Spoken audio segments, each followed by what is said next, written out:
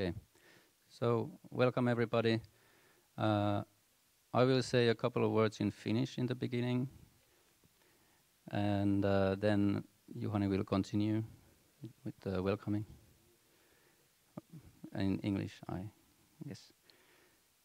Joten äh, tervetuloa tähän tota, Porin kaupungin järjestämään äh, tilaisuuteen, jossa meillä on luento, näyttely, joka on tuolla, tuolla ympärillä, ja sen lisäksi paneelikeskustelu ää, ensimmäisen maailmansodan jälkeisestä ajasta.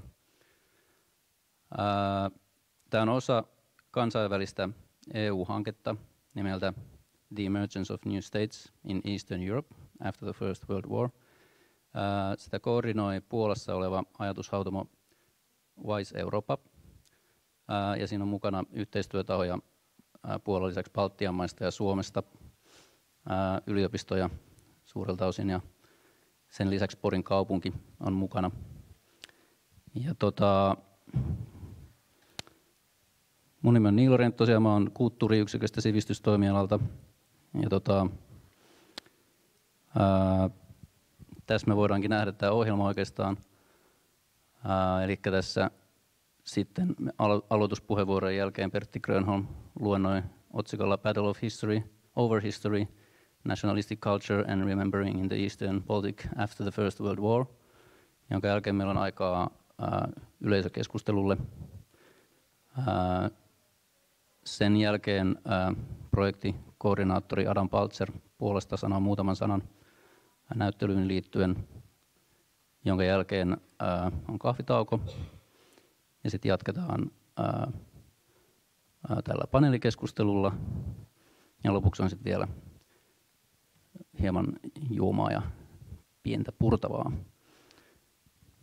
Tota, haluaisin myös mainita, että tästä aiheesta tulee myös teemanumero tällaiseen Baltic Journal of European Studiesin alkuvuodesta, jossa on artikkeleita eri maiden näkökulmasta tähän samaan aikaan. Ja tota, Mä laitan tästä kiertämään kohta osallistujalistan. Ja mikäli teillä on kiinnostusta saada noottia sitten, kun tämä numero tulee ulos, niin laittakaa tänne kääntöpuolelle vaikka sähköpostiosoite, niin voin laittaa sitten myöhemmin. Ja tosiaan laittakaa nimet, niin saadaan EUlle tietoa siitä, että täällä on ollut porukkaa, se on tärkeää. Ja tässä pitää tosiaan laittaa myös, että onko yli, vai alle 30-vuotias, joten, joten tota, muistakaa merkitä myös se. Haluan kiittää yhteistyötahoja. I would like to thank all the collaborators from all of these countries uh, and also Satakunta Museum and, and uh, Turku University and the departments involved. Uh, so uh, pidemmittä puheitta niin annan puheenvuoron Satakunnan museon johtajalle Juhani Ruohoselle. So Juhani Ruohonen, welcome.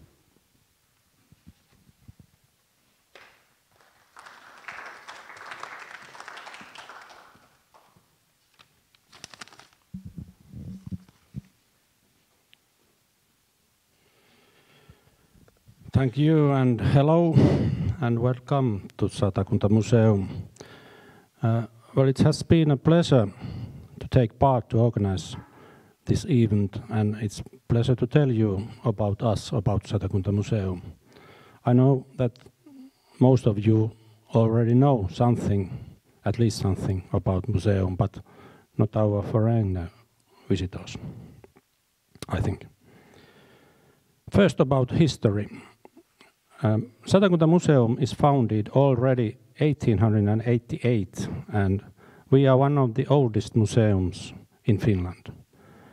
And museum is owned by the city of Pori, but at the same time we are also and especially the provincial museum of Satakunta, the province around the city of Pori. It means also that we get more state subsidies because we have some regional tasks. For example, we help small local museums in our area. Our collections are from all over the province, and we have duties related to archaeological heritage, cultural environments, and building protection. For example, we take part in land use planning, uh, in cases building protection, and in a way, we should take care of cultural heritage of the whole Satakunta. This is our main unit where we are now, Historical Museum. But we have also three other units or branches. Nature House Ark, which presents uh, uh, the nature of Satakunta and especially the nature of Kokemäenjoki Delta. And second, uh, Museum, which presents uh, the history of Rosenlew family and Rosenlew company, and also at the same time the industrial heritage of the whole Satakunta. And then we have Renovation Center Toivo, which is not museum at all. It's a meeting point to everyone interested in old houses and place where you, you can give advice and or get advice uh, how to repair old houses or old buildings. This our permanent exhibition was opened to the public last year and it is called Elonmerkkejä, Signs of Life. I hope that you have also uh, time to visit the exhibition. There is plenty to see and you can find more information on the tablets also in English. And besides this exhibition, Satakunta Museum has much more else to offer to the audience. Temporary exhibitions, lectures, workshops, guided tours, and so on. And of course, I must tell you that we were nominated the Museum of the Year in Finland this year, 2019. And we are very proud of it. The Finnish Museum Association nominates every year one museum as the Museum of the Year. And we were rewarded last spring at Museum Kaala in Tampere. And it was not just because what we have done this year or last year, but because we have done effective museum work for a long time, for many decades. The topic of this event the emergence of new states in Eastern Europe after the First World War. Is that name long enough? It concerns also our museum. Um, we are not the museum of the political history, but we do have some material in our collections of this topic.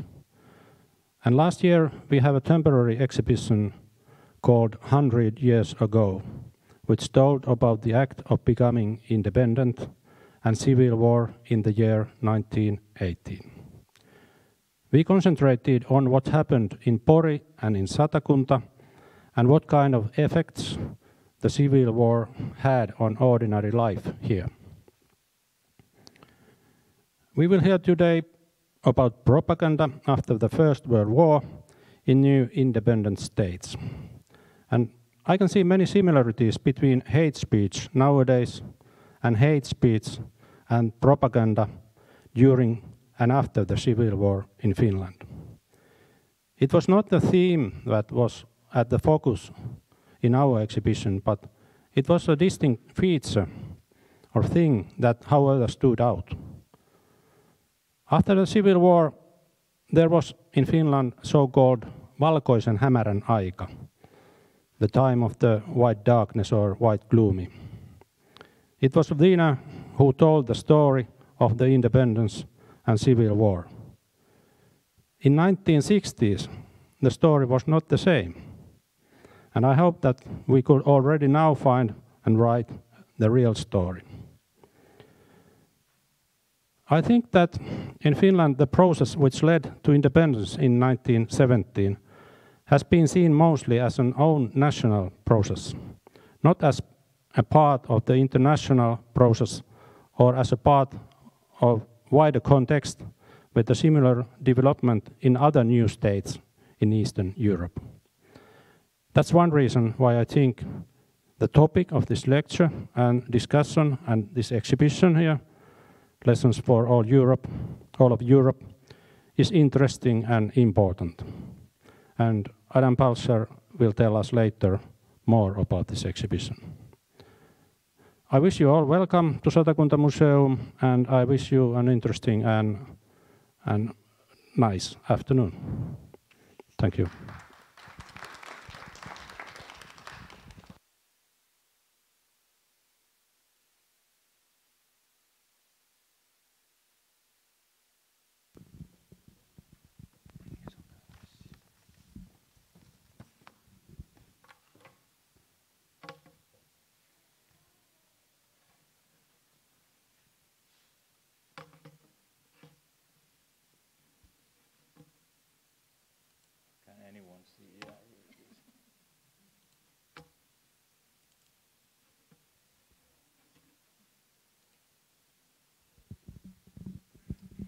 Okay, good afternoon, everyone. My name is Pertti Grönholm, and I come from the University of Turku.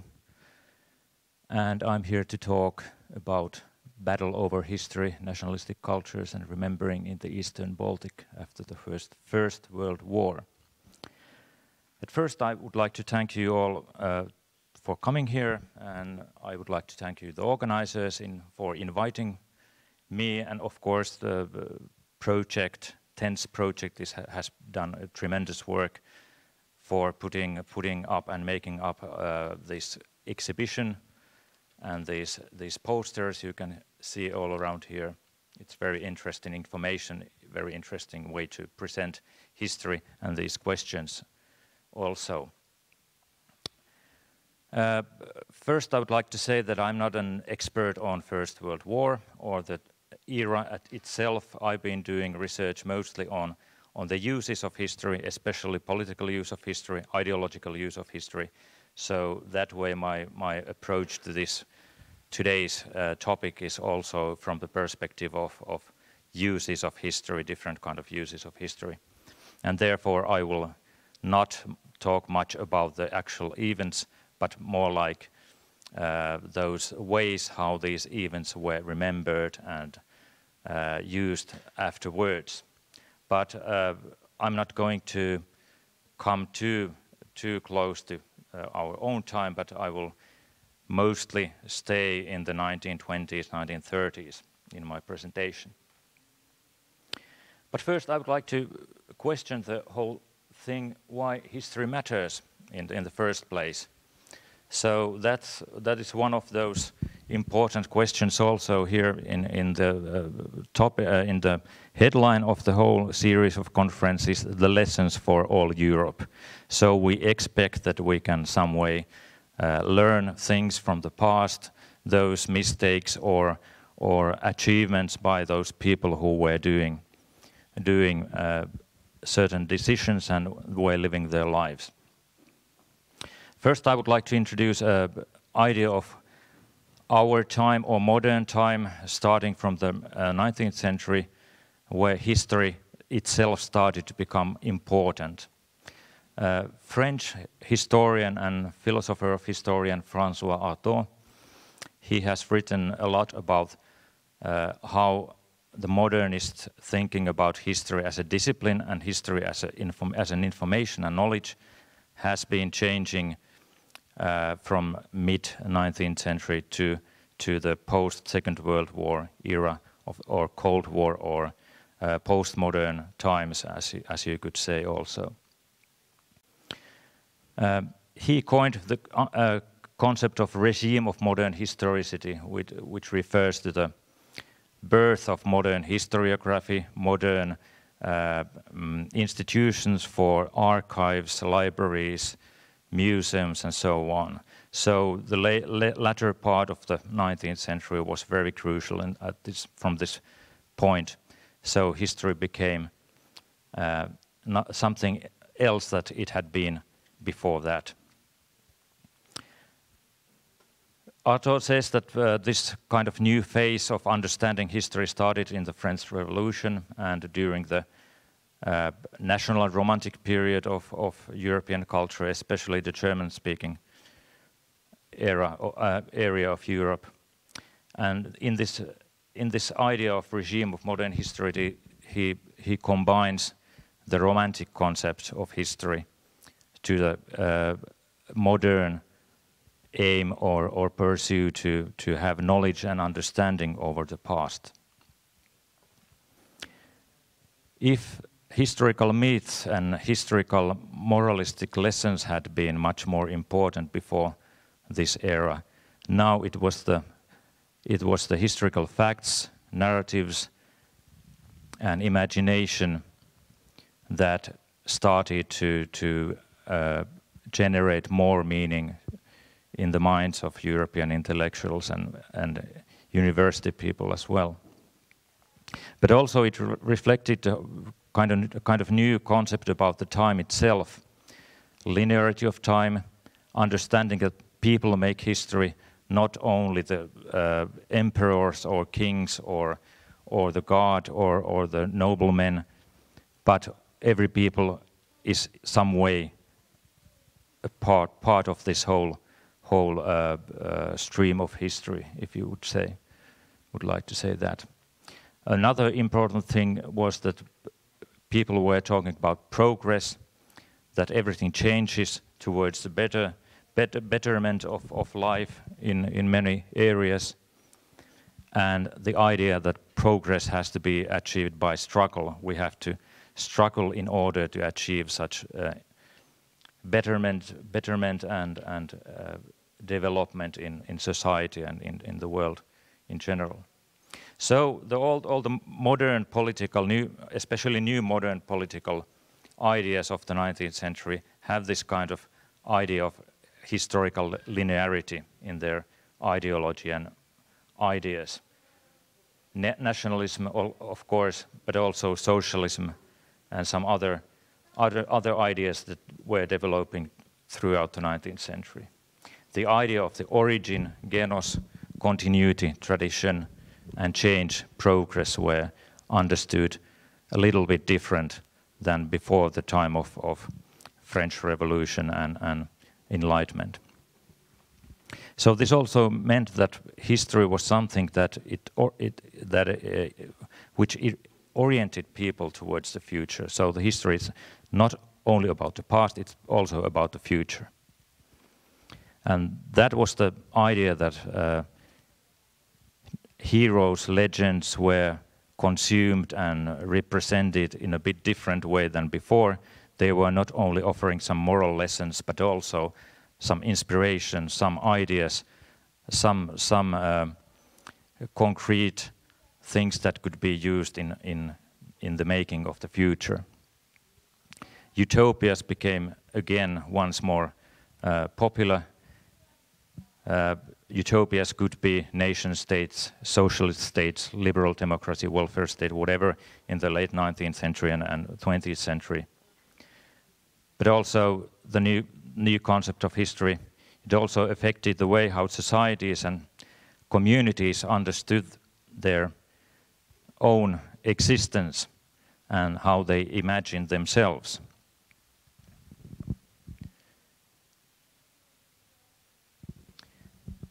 So history was understood as a process. And the past started to become foreign, the other. It wasn't anymore the same uh, as it ever was. History has some kind of starting point, especially uh, when, when we were talking about the origin, genos, and the purpose of the society or, or community, goal, telos in, in, in Greek. So the past became also essential for the future, not only, not only for, for today. And that was the time when history was considered to be some kind of teacher. It could have uh, some warnings, uh, provide us some warnings, and it also became some kind of source of inspiration. And every nation, class, community had its own mission to fulfill in, in greater story of human humankind and the stream of history. But also, parallelly, uh, the past started to become a subject of knowledge and commemoration. So history, uh, written history was not anymore a collection of moralist stories on the past, but there was uh, ever widening understanding that professional historians were able to produce reliable information about the past. So this was a precondition of modern historicism and historiography. Of course, there were several uh, turning points or, or uh, innovations or ideas that, that were uh, crucial for develop, development of academic studying of history, uh, such as historical critical method, source criticism that was adopted from other humanistics, humanities. Also, history teaching and research became a realm of the state. It, uh, this also reflect, uh, reflects that the past was not anymore about academic uh, uh, thinking and academic discussion or, or anything like that. It was much more important for the states themselves. And thus also the national memory institutions were created in the 19th century much more uh, consciously and actively than, than before. Museums, archives, monuments, war cemeteries, many, many things that reminded us from the past and uh, which were used also in, in uh, constructing the future or the idea of the future. National holidays, anniversaries, public events on remembering, and so on.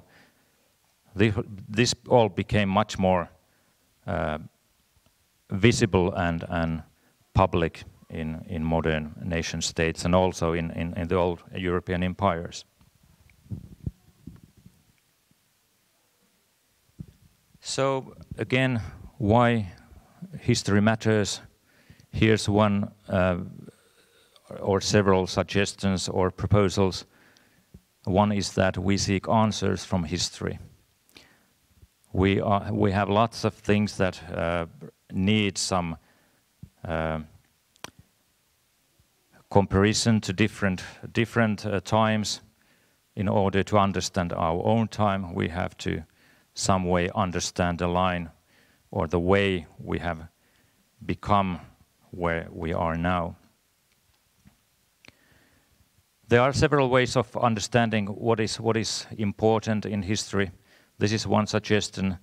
Uh, Klas-Göran Karlsson, a Swedish historian, Maike Wolf, my, uh, my colleague from Germany, and many others, we have been together trying to figure out what, what would be the way to express all those uh, dimensions of historical information, historical knowledge and historical stories and narratives. And this is one way. Well, we turn to, to the past in order to ask where, who are we and who are we not? What are we like and what we are we not like? What kind of community, what kind of individuals we are? where are we coming from, where are we going to? So these are very crucial, very fundamental questions, so we could name them, for example, existential questions.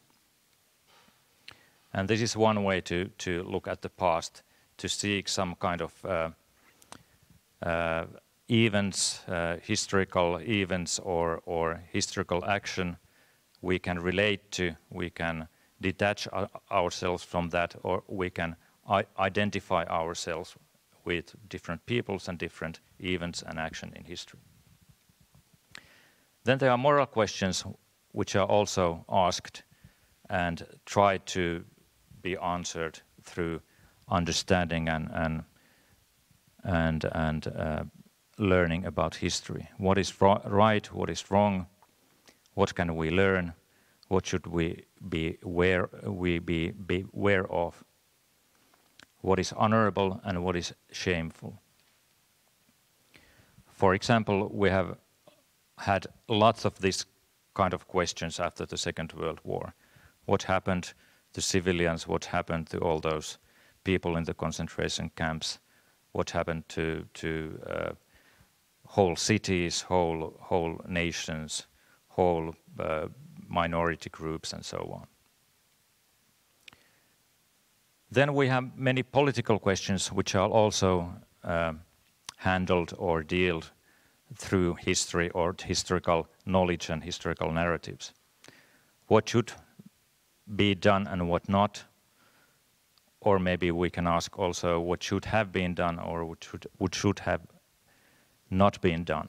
Who is right, who is wrong, who was right, who was wrong, who has the authority, for example, to, to uh, point out these historical lessons and, and warnings. Then we have ideologies and also religions, which have very, uh, very strong interest on history, historical events, historical narratives. And that way, many ideologies and religions also understand themselves by using history, by uh, relating the uh, ideological or religious ideas, thoughts, even dogmas to what has happened in the past.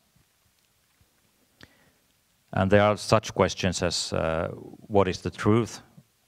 The truth with a capital T, of course, when we are talking about strong ideologies and strong, strong uh, interpretations on religious uh, dogmas.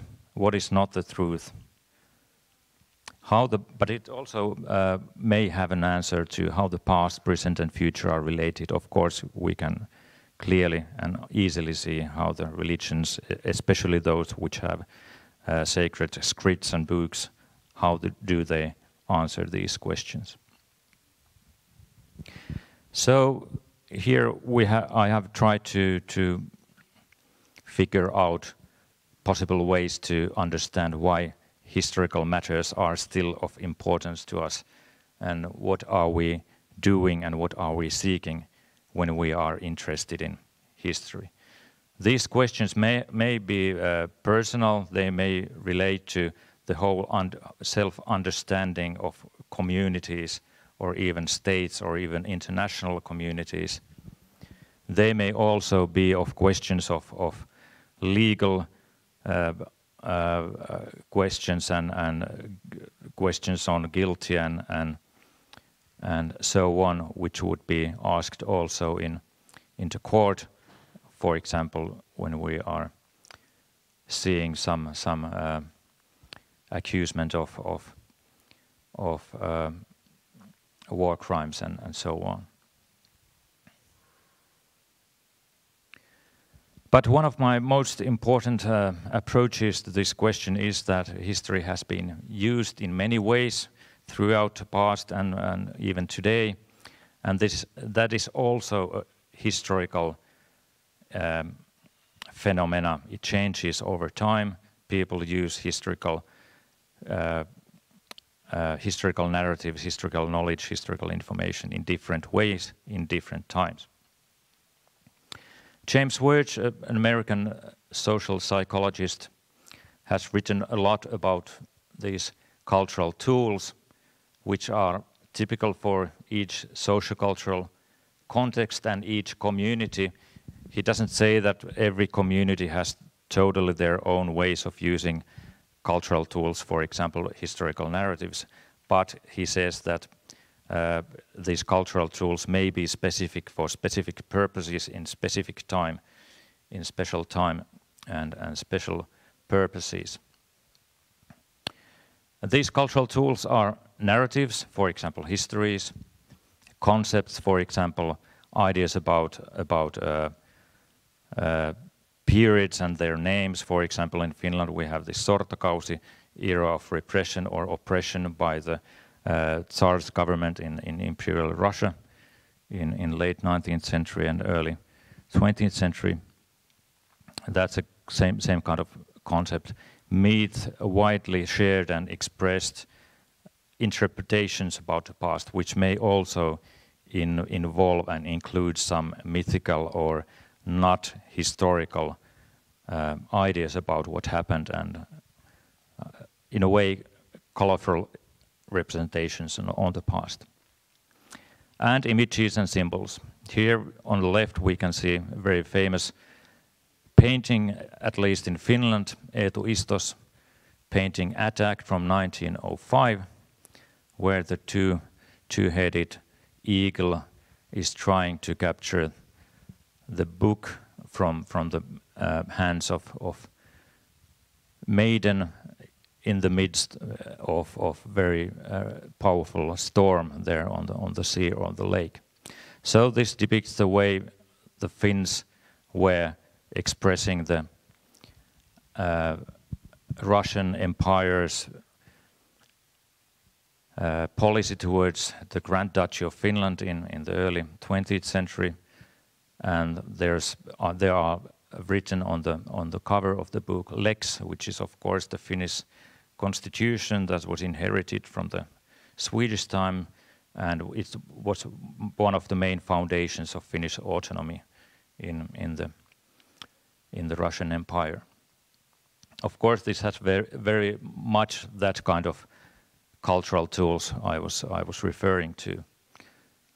We have here the symbols, uh, of course, the book itself, and the double-headed eagle, which of course depicts the Russian, Russian Empire, and also the maiden here, who is of course an, um, a symbol of Finland as a free and, and righteous nation and country.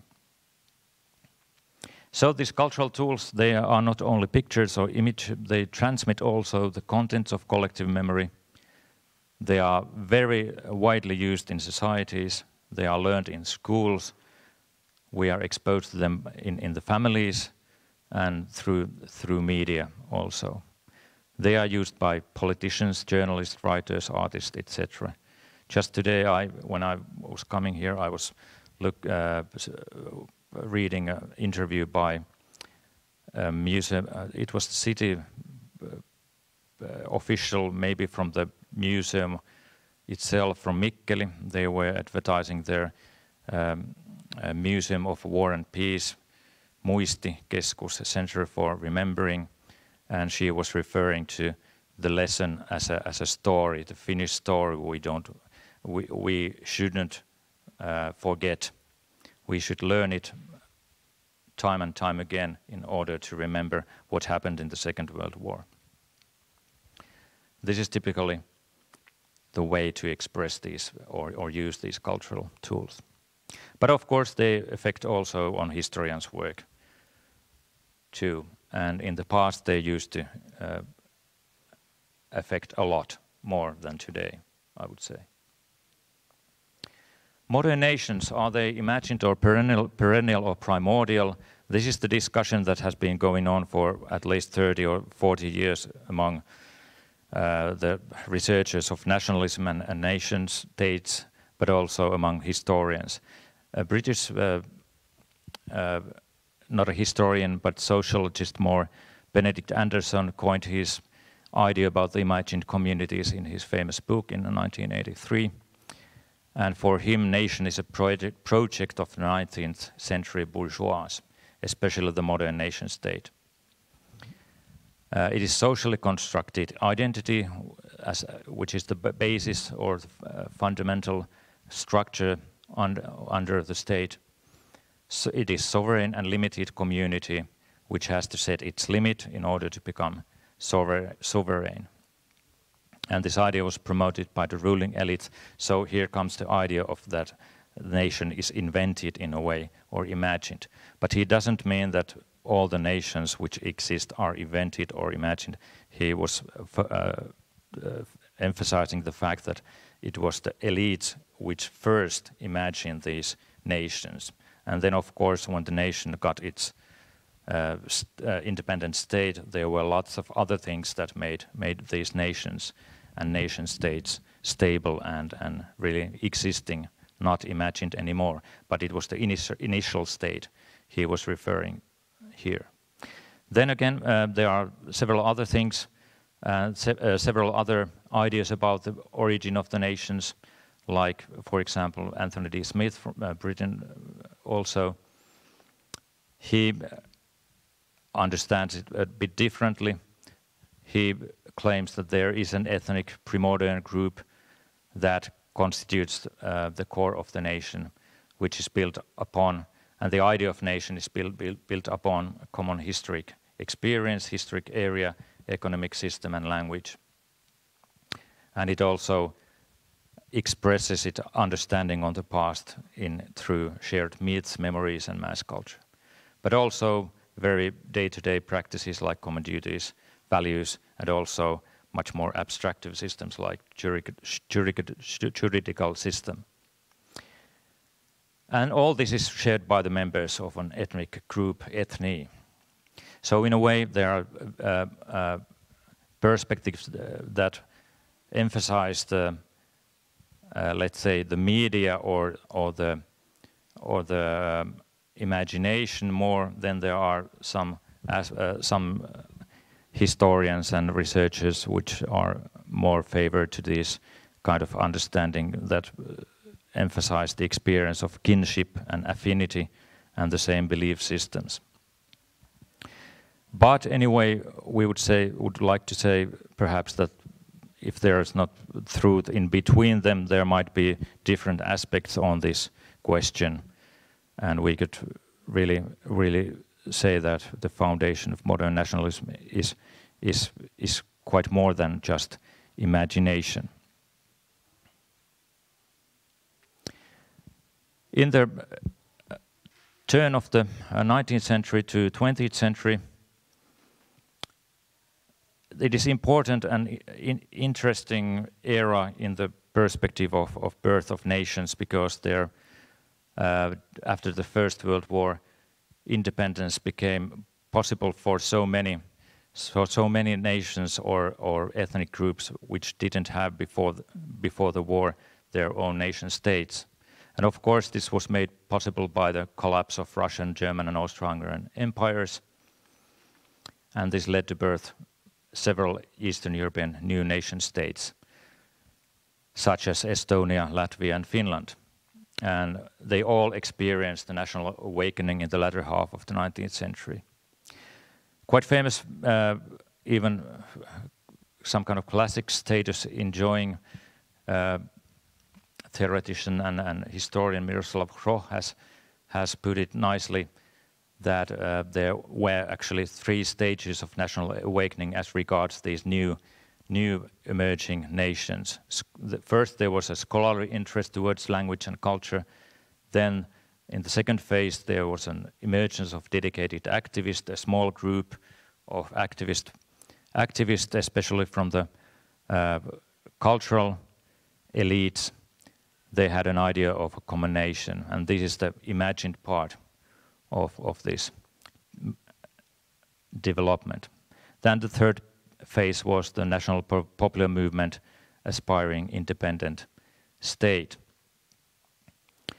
But there were also old nations like Lithuania and Poland in the Baltic area who revived the memory of the great nation they had, uh, separate and together Polish-Lithuanian Union from 1386 and, and Polish Lithuanian Commonwealth from 1569 to 1795. But also in the area there emerged totally new kind of state or nation, proletarian state, Soviet Russia from the ashes of Russian Empire through October Revolution in 1917. So this area and this era uh, post First World War times is very interesting time. And in this uh, presentation, I'm more, mostly concentrating on, on Estonian experience and Estonian way of using using the uh, historical images, historical myths, historical narratives. And of course, they didn't have a nation state before 1920 or 1918 but there had been, has been a very long period of, of national, national uh, upbringing, awakening, national culture revival, and so on. Maybe you know these names, Friedrich Reinhold Kreutzwald, who wrote Kalevipoeg, the national epic, epic novel for Estonians, Jakob Hurt, uh, very strong member of, of the national movement. He coined the idea that nations are unique organisms. That was not uh, perhaps his own idea. This was quite popular idea in, in throughout the German-speaking speaking Europe at that time. But the idea that every nation has its own historical task, it's very common for, for these times. Estonian language, character and customs were, were revived in, uh, and tried to be uh, uh, put forward by these cultural members of cultural elite. But there were several phases in, in this development. Some people were mostly uh, uh, trying to free them from the uh, from the control of the Baltic German landlords and the nobility who were actually having the most powerful uh, position in the Estonian and, and old Livonian areas in the Baltic those days. They had the almost total social, political and ec economical power in their hands and the Estonians, Latvians were merely um, people of the land, maarahvas in Estonian. Mainly peasants. But they, these Estonian uh, elites also contested the Baltic German history. That was the main target. For example, Carlo Robert Jakobson, who was quite radical in his ideas, he presented a new periodization for the Estonian history. And this is quite neatly puts, puts the, um, sums up the thinking on, on history at those days. This is quite easily seen as, as the modern way of understanding history. First, there was the Age of Light, the ancient independence, which was in a way mythical. Of course, there were some sources that told about the uh, Estonian tribes before the Baltic uh, Teutonic Order came to the area in, in 13th uh, century. Then there was Age of Darkness, Teutonic Order and land, German landlords who got the power throughout many many centuries, despite the fact the area uh, was uh, was belonging to different states like Sweden and and, and uh, Poland for for some time. But anyway, the local gentry and local nobility hold the uh, power in their hands. And then there was the age of the new dawn, national awakening, which started from the 1860s on, onwards. So that was the times when these narrative symbols and myths became far more important than they, they had been before, and they were used throughout the process of, of uh, national awakening or revival of national culture, national uh, language and national customs. There were several historical novels, for example, who, which be became some kind of foundational stories for this nationalistic movements. For example, The Avenger and The War of Mahtra, which both depicted the uh, historical, real historical events, uh, and they were telling a story about Estonian peasants uprising against their Baltic German landlords and, and the um, foreign yoke they had to bear for many centuries. And there emerged the idea of heroic resistance, sacrifice, especially uh, resistance against foreign oppressors, the Teutonic Order, and, and later Baltic German landlords. So in a way, they're uh, formed or, or uh, were put up some kind of uh, basic basic storyline or basic narrative structure for the Estonian nation. It was the Estonians were surviving through repression, resistance, sacrifice, and uh, they they had uh, survived throughout the centuries, and that merely that fact proved that the Estonians were a capable nation of, of taking care of themselves in the, in the, in the, among the other European nations.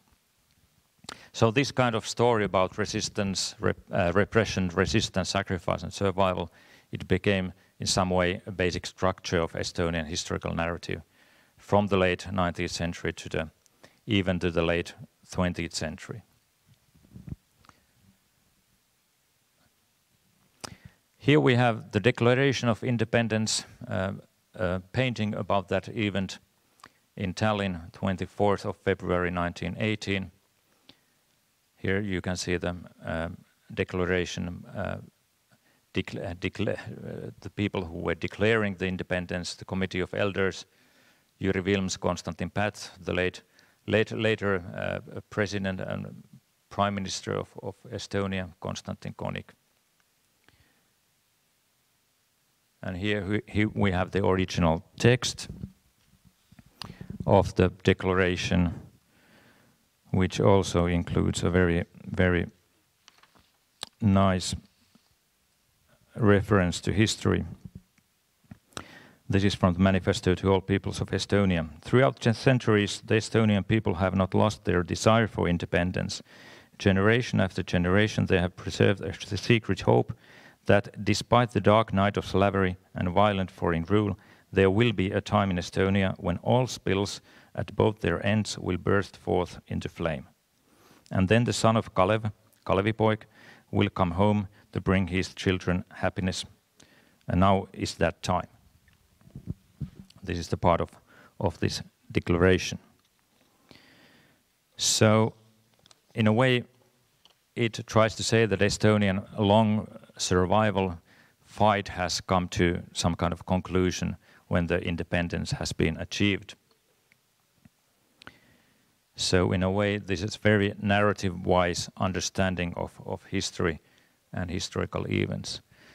This is an Estonian armored train during the Estonian Liberation War in 1919, and this is from especially from from the battles against the Baltic German landlords and, and the German armies that threatened the new state from the south Latvian behind the Latvian border.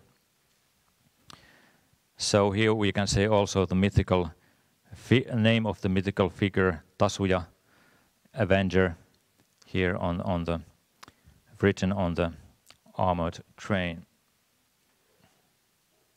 And here we can see Kalevipoeg on an armored fighting vehicle. It was named after Kalevipoeg during the same campaign. So the history and the, especially the mythical representations on history were very much used in, in the War of Independence itself. And it's not a uh, miracle or uh, any, anything uh, unpredictable that also the War of Liberation, which took took place in started from 19, late 1918 and started until the 1920 when the Treaty of Tartu peace treaty was was signed.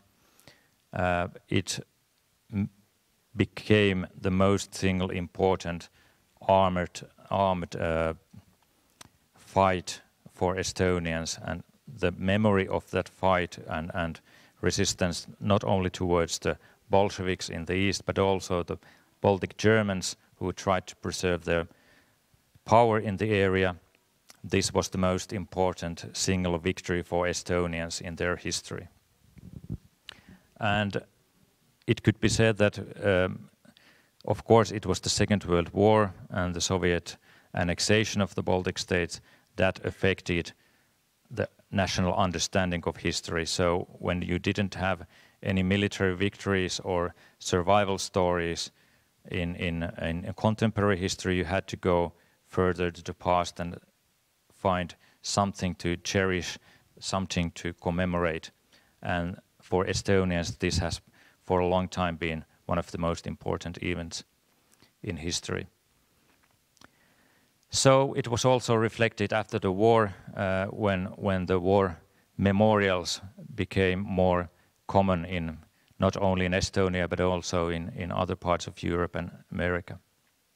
In general, we could say that uh, remembering the unknown soldiers and civilians was quite new thing after the First World War. It was it was actually a, a consequence of the mass mass killing of of millions of soldiers and and lots of civilians too. So in a way, it became a new way of constructing identity for many nations, not only the old empires, but, but especially for, for these new emerging nation states. So these war memorials and, and war tombs or new, new graveyards. They constructed unity through the losses and grief of the community. Benedict Anderson has said that the, these war memorials are one of the most typical metaphors of the modern nation state. German historian Reinhard Koselleck has said that these kind of memorials help the individual to express empathy and identify with the suffering of the unknown people. And this is very strong in, in creating cohesion and, and unity among the communities. Also, furthermore, commemoration is a sanctifying transitional rite. The life of the individual is meaningful as a sacrifice to the nation. So, a single person, single individual also can find a meaningful way to understand their place in the stream of history and especially in the stream of his or her own community. So these monuments are very uh, useful for historians, especially those historians who are interested in, in mnemo history, how things are remembered and how things are, uh, how history has been used. So in a way, the, in these monuments, uh, many of these aspects which, uh, which I mentioned uh, about about the cultural cultural tools, symbols, and and images and narratives are present and concentrated on these war memorials. That's that's why I'm also using them here. But they are also highly vulnerable to political and cultural changes which have been which have been uh, seen in many times in Estonian history, but also in, in Finnish history and, and all the other states we are, we are talking about today. Almost always revolutions and occupations uh, effect on these monuments. They have been destroyed, they have been um, hidden, they have been uh, maybe uh, replaced to somewhere else, or maybe they have been turned other side, uh, facing facing a completely new direction and so on.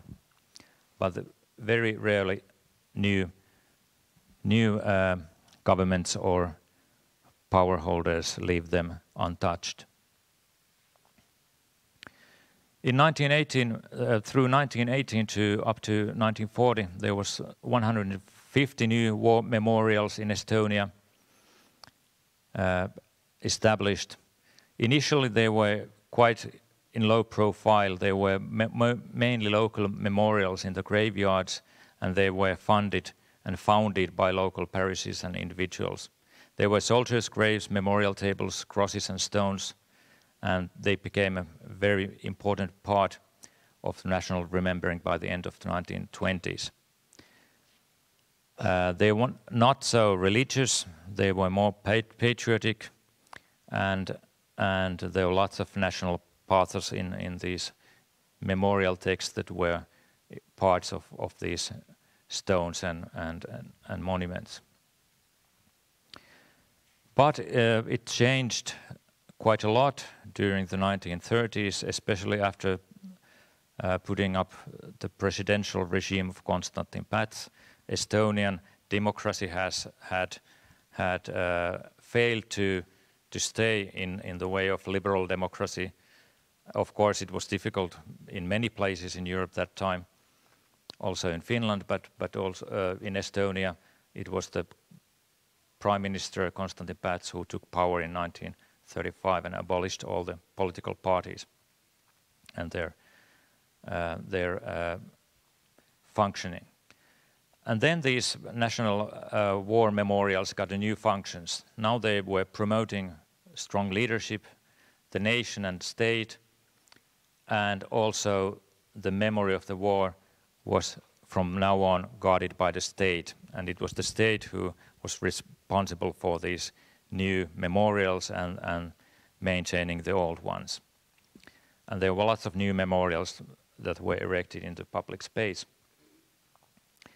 And religious significance became even more less relevant, but it was the new story that emerged throughout these memorials, the mythical continuum of the liberation wars that uh, in, in, this, in this story the War of Liberation of uh, post First World War liberation became one more event in the long chain, historical chain of resistance and, and, and battles against the oppressors.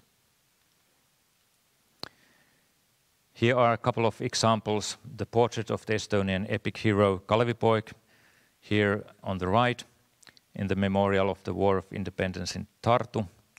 And on the left, there's a memorial of the Mahtra War, which was one of those peasant uprisings, peasant rebellions in, in 19th century. Here we have, uh, there was a quite new, uh, let's say, quite new branch of literature and also in, in, in, in fine arts you can see lots of depictions of the liberation war. Here's depicted the Battle of Paju in 1919 that took place in southern southern Estonia against the, actually against the Latvian Red Red Army Corps here. So these are the troops of, of Estonian Republic on the right. And the Battle of Paju has been a very, very uh, symbolic, symbolic uh, siege over the Red Bolsheviks, and it has been remembered today also. This is the Finnish Minister of Defense Jussi Niinistö who took part in the commemoration of the Battle of Paju in, in last January. So the Estonians have been celebrating their independence uh, from the start of 1917 and it will stay uh, as in agenda in public events and, and, and public exhibitions and many, many other ways until the uh, February 2020. So they have a lot, long, lot more longer period to celebrate their independence than in Finland, because in Finland we concentrated on 1917, and that of course is because of the next year's catastrophe 1918, spring 1918, the civil war that broke out in, in, in late January 1918. So this was completely different thing to remember and needed completely different ways to remember. But Estonians will, will continue celebrating their independence throughout many, many different ways until 19, uh, 20, 2020. And here is the memorial of the Estonian War of Liberation, the most uh, debated big uh, public monument on, on War of Liberation because originally it should have been uh, erected already in the early 1940s and um, there was a competition between architect, architects and, and this kind of uh, proposal won the competition and of course it remained un, uh, erected because of the Second World War and because of the annexation to Soviet Union event eventually. But the same uh, drawings were uh, taken taken up in the uh, after Estonia got its independence back, and there were lots of debates: should it be uh, constructed or not? But anyway, the Bronze Soldier affair in 2007 was um, quite quite uh, uh, surely one of those events that put forward this initial and uh, uh, Estonian state, Estonian government decided to to build this monument in 2009 although there was lots of resistance towards because it was quite old-fashioned it was uh, in a way modified a bit there were some lights added on it and so on but anyway it's it's kind of same same kind of remembering that was uh, very very visible in the times of uh, Konstantin Päts in 1930s. Okay, did I have any other pictures? Yeah, I believe here's one one of those 1920s uh, erected monuments, war mon monuments for the for the sacrifices of the liberation, war of liberation.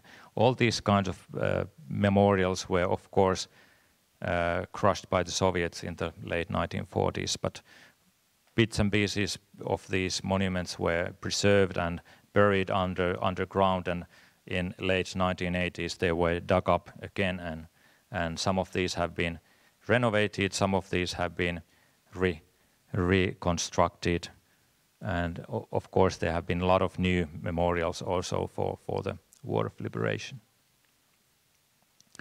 Okay, but this, this was basically the ideas I, I had in my mind, and of course I'm free to, to answer your questions and also looking forward to discussion about the lessons we are about to learn through through these historical excursions and, and through these various ways of, of looking at the, at, the, uh, at the historical events after the First World War.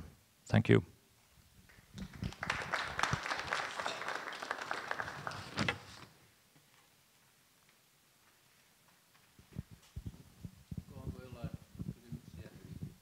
Any questions or comments?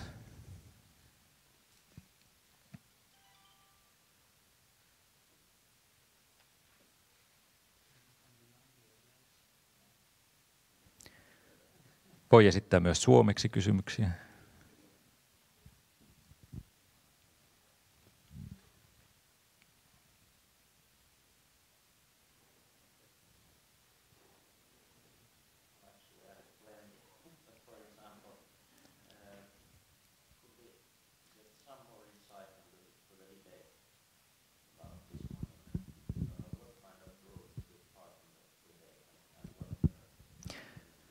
Yeah. For example, the city of Tallinn uh, quite fiercely opposed this monument uh, throughout the uh, early early years of 2000, the decade 2000, and and of course uh, there were lots of other people from other parties. Uh, Tallinn was led by the Central Party, by led by Edgar Savisaar, and. Uh, it was ma mainly about about uh, reference to the uh, undemocratic times and of course the presidential regime and also quite a bit like the same way as as we have now discussed about uh, in Finland about the white sides remembering the war. So it was uh, not inclusive the all all uh, people of Estonia at that time and also it it was considered also old-fashioned, not only by aesthetically, but also as a as a way of remembering. So there were many other uh, uh, uh, kind of proposals that that were in that time in discussion. But anyway, it was it is actually not the original place where it was planned to be on the central, very central place in the uh, square of freedom in in the in in Tallinn, but now it's in more like uphill in a in a different place than it was originally planned. So there were some modifications done, but the cross, for example, is quite the same as in in the original drawings. Yeah, yeah. Yeah, but there was lots of debate, but I believe that it was the Bronze Soldier affair that affected on the on this how how to once again raise the uh, Estonian, let's say, honor and sacrifices and, and survival. So it was some kind of battle of monuments going on in Estonia. And of course, uh, last was last January when Estonian government uh, decided to remold the memorial of Maarjamäe in in the coastline in, in Tallinn that was originally uh, founded by the Soviet authorities in order to, uh, to remember the Soviet, Soviet Red Army soldiers. But uh, when Estonia got back its independence, it was modified to, to remember all the, all the fighting parties, also the Germans, soldiers were, were bur buried there and some German people came there and to remember their own, own, own lost relatives and so on, and also the Estonians were included in that memorial too. Not only the Red, Red Army soldiers, but but also those who fought against the Red Army in, in the in the in the ranks of the German German army. So there are lots to lots uh, lot thing lot of things to remember, a lot of things to to uh, debate about a lot of things to to to make political questions or moralistic questions, but they all are mixed up in, in these and very well exhibited in these discussions and, and uh, uh, campaigns over over the remembering and especially the public ways of remembering, which the memorials are very big part, especially in Estonia, but also in, in Latvia, Lithuania, many other many other countries. So maybe in Finland we are not so uh, debating so um, fiercely or feeling so hot feelings about about these memorials, whether they are, uh, for example, uh, from the times of Cold War, uh, donated by the Soviet government. We have such public monuments, monuments still. But of course, in Estonia, there's there have been lots of, of other things, uh, other kind of incidents. For example, the Waffen SS soldiers memorial in uh, which was two times actually erected in before the Bronze Soldier affair, and the Estonian government decided uh, to to prohibit this this kind of way of remembering the Estonian uh, veterans who who fought against the Red Army in in German uniform. Yeah, but there have been a lot lot of these kind of incidents, memory incidents, or or conflicting understanding on on the ways to remember. Yeah. Anna, Anna had something to add.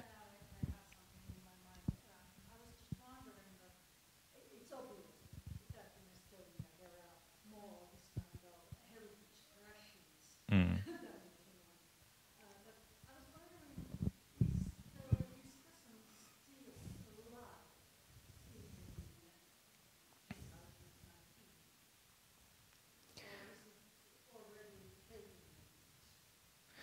of course, there are times when these discussions have not been so active. For example, almost no one cared about the Russian speakers, older people coming to to mourn their uh, lost relatives and and and fathers and and mothers in the 1990s and early 2000s when the Bronze Soldier was there still, and it was uh, every year uh, gathering people from the Russian speakers community, but no one paid any attention.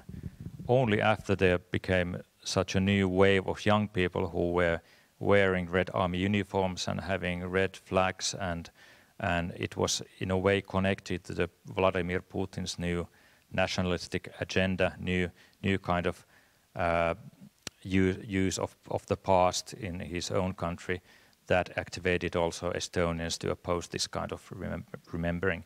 So it needs, of course, uh, lots of new meanings, lots of new new ways of using these monuments in order to raise that kind of um, contradictions and and, uh, and and clashing ideas about about history.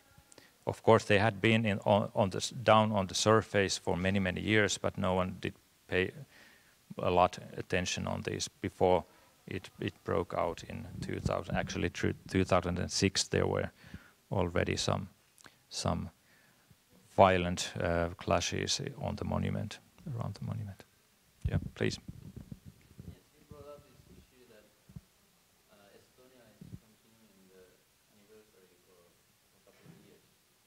Yep.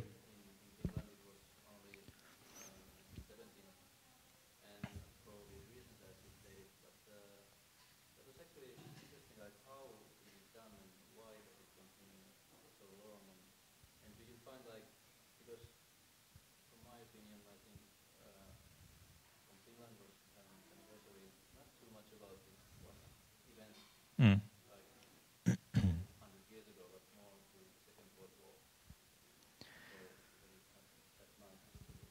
Yeah.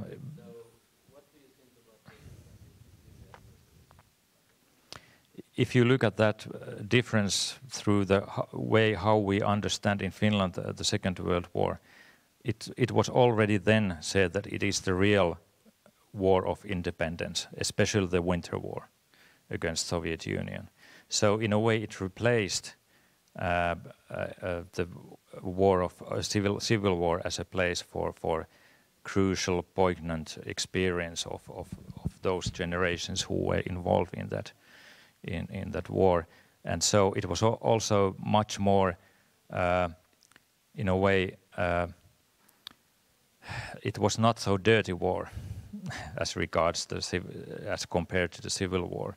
So it was easily to adopt that kind of con uh, concept that the Winter War was the true uh, war of liberation for Finns. And of course, for Estonians, that was the only war.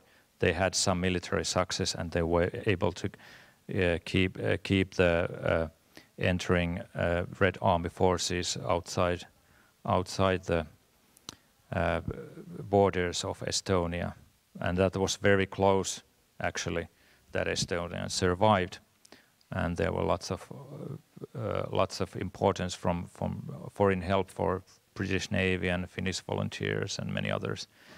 So, so it, it is a different kind of uh, experience on the past, and it it also is reflected on the how how the narratives, national narratives, are being told and constructed upon these events. The uh, these most the the mo both of these wars, Winter War, war for Finland and and War of Liberation for Estonians is, is, is same, same kind of importance, but in different times, in different historical situations. And that's why, of course, the, the process of getting independence, uh, uh, a true independence uh, uh, from, from especially in the, in the form of international, interna from this international community and, and bordering uh, countries, took much more time.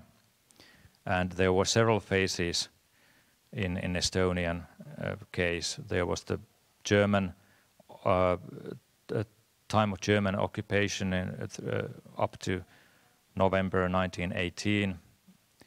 And then there was the fight against the first fight against the Soviet Soviet-backed uh, Bolsheviks, Estonian Bolsheviks and Soviet Red Army and simultaneously against the Baltic German armies on the south.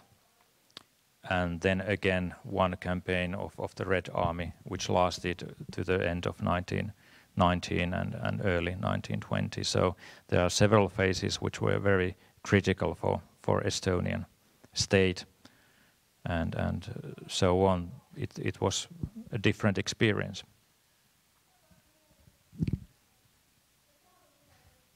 Ville, jah.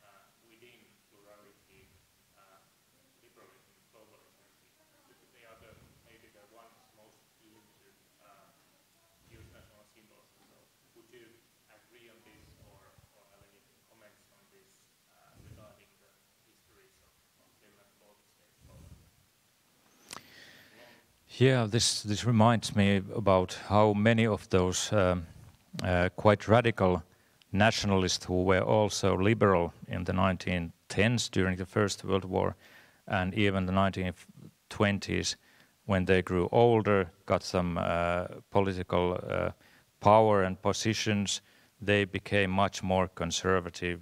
That was quite quite typical for for many many states in in the eastern, especially in the eastern parts of Europe. So those radical nationalists who were quite progressive in in many ways for, uh, as regards education and and economic and and the role of the state in economics and politics, for example. They, like Konstantin Päts, who was originally a socialist, then he turned to be a centrist, and he found himself in the in the far right, not the far most right, but anyway, clearly on the conservative nationalist uh, uh, branch of the Estonian politics. So, so I would say that it, it, it also has something to do with generations and the people's people's uh, personal lives who were experiencing tens of years of different kind of very radical turns. For example, uh, the First World War, economic recession, the rise of the far right nationalism in throughout the Europe and so on. That was. Uh, I don't know if it tells more about the system and, and the problems of the democracy in the 1920s or about individuals and these communities or groups, power groups that were were were uh, ruling the nation or ruling the country throughout many many decades, and their own own uh, change of perspective, change of values, and so on. This has to be studied very carefully when we when we talk about this, because uh, it's it's the people who make ideologies and not vice versa. So I would like to see that many many of those radicals, of course, in the Soviet Union, that happened also.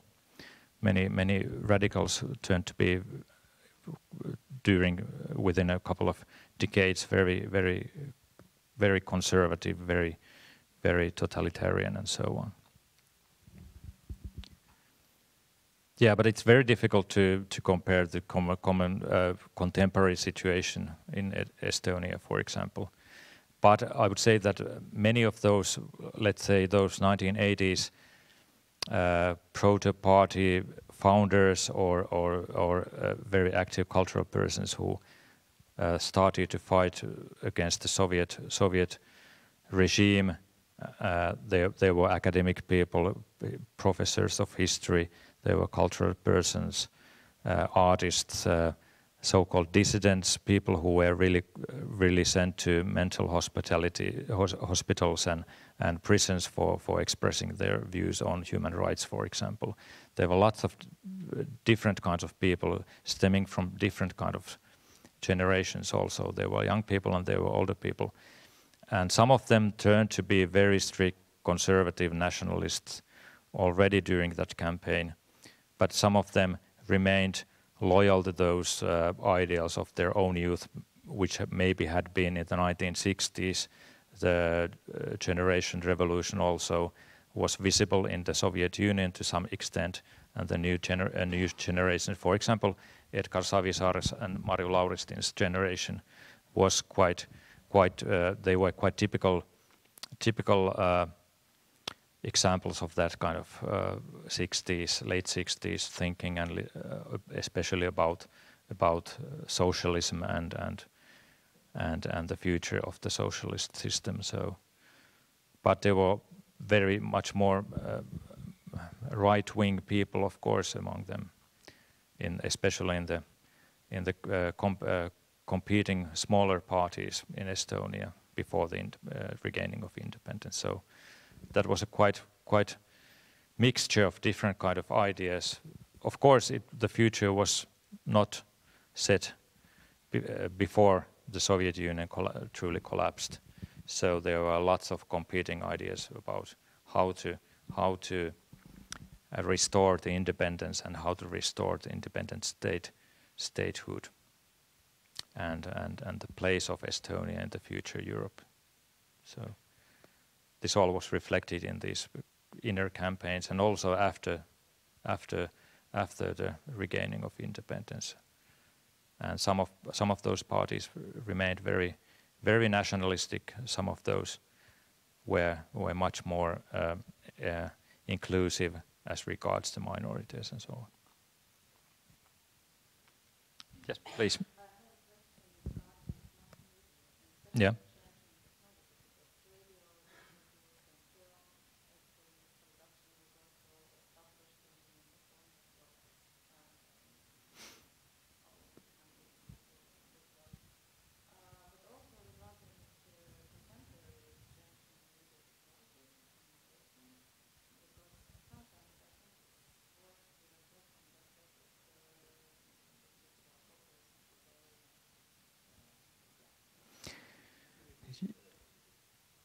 Yeah, maybe it, it was about uh, about the mass media and the uh, media technologies effect on, on, on how these maybe radical or populist ideas are are shared and and adopted.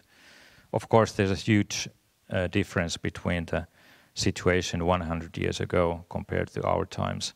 So maybe.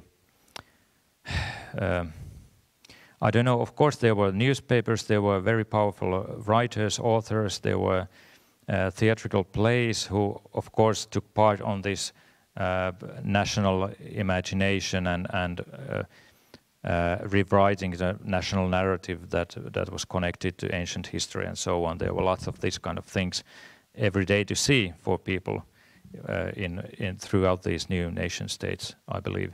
So there were different kind of medias, but of course the people were not so busy to to to stop and read newspapers and and read a book or or go to the theater to hear these kind of messages.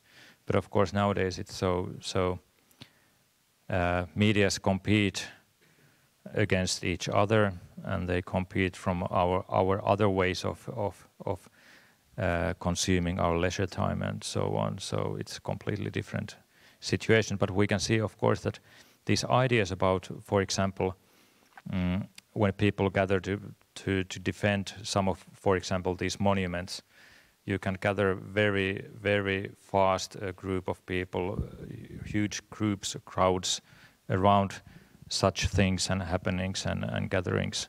So it's much more easy to, to mobilize, peop mobilize people to, to defend some, some of their ideas and concepts to compare to maybe. But of course, uh, it's very difficult to to compare.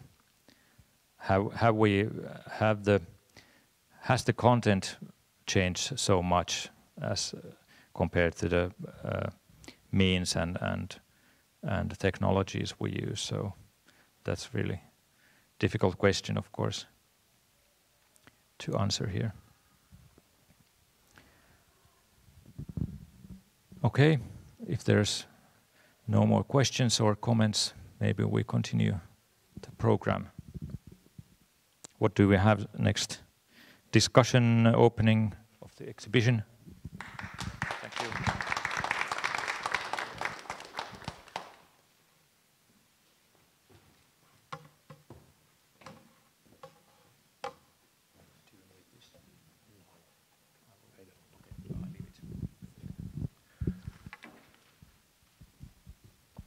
My name is, hi, first of all, good afternoon. My name is Adam Balcer. I'm from Warsaw, from Poland.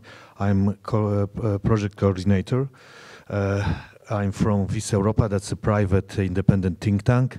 Uh, and uh, our uh, project, the emergence of new states uh, in Eastern Europe after the First World War, is co-funded by the European Commission, is implemented within the framework of the program Europe for Citizens, and there is a sub-program uh, European Remembrance. And uh, this program is dedicated to uh, the most important anniversaries in the history of the European Union and in the history of Europe. And one of these anniversaries priorities at that time was 100th anniversary of the end of the First World War, but also the establishment of new states.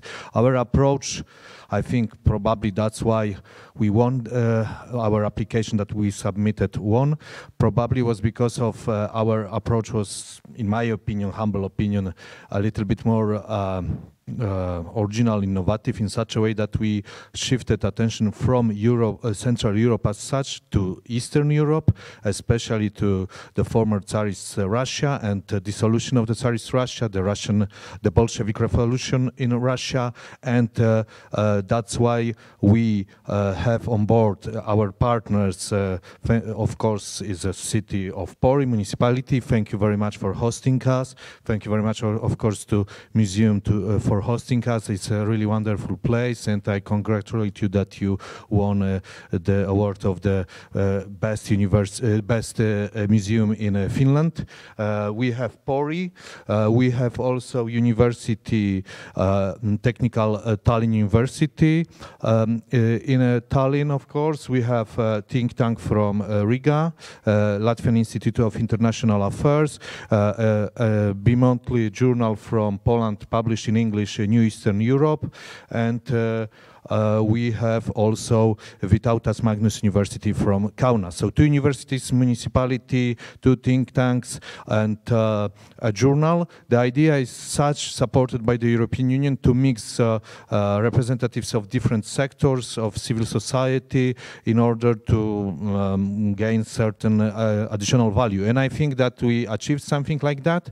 I strongly recommend you to, of course, uh, there is going to be a coffee break lasting around 25 minutes, so it's probably not enough to um, uh, visit uh, and to uh, read all descriptions, see all pictures, but I strongly recommend you to maybe to visit again the museum to see roll-ups. you can also find them on in internet, on web pages of our institutions in a PDF format. I have graduated, um, just to end with uh, my short introduction and invitation uh, to the, uh, this official part, official opening of uh, our exhibition. Uh, maybe I will end up with a short story concerning Pori. Um, um, because in fact it's my first time to, to the town um, uh, and uh, uh, as you know Uh, the uh, exhibition is dedicated to uh, this period after the First World War and also the end of the First World War but also we are trying to show how intertwined uh, were our histories and how important is this legacy for, that's why lessons for all of Europe is still uh, relevant for us and for Europe as such. Uh, and also uh, we try to discover, uh, to show how important were also developments in countries that they, that failed in their fight, uh, fight for independence, Ukraine, Belarus, South Caucasus, European parts of Russia. And coming back to Pori, what is crucial that again, um, um, before coming here, I um, tried to learn a little bit about the town, and uh, I learned that it was established by John uh, III uh, Vasa, and his wife was in fact Polish-Lithuanian from Jagiellonian dynasty, uh, uh, Christine, and uh, he established the town, and he is also very important for the history of Finland because he was the first Grand Duke of Finland. He also com commissioned the coat of arms of your country, and his son was a Polish king and Grand Duke of Lithuania, uh, Zygmundas III uh, of Vasa, and it was a short period uh, when uh, all our countries, Finland, Estonia, Latvia, Lithuania, and Poland was under one rule, Zygmunt and one dynasty, Vasa dynasty, for a short period. But nevertheless, that's a symbol that we should, in my opinion, be much more aware of ties.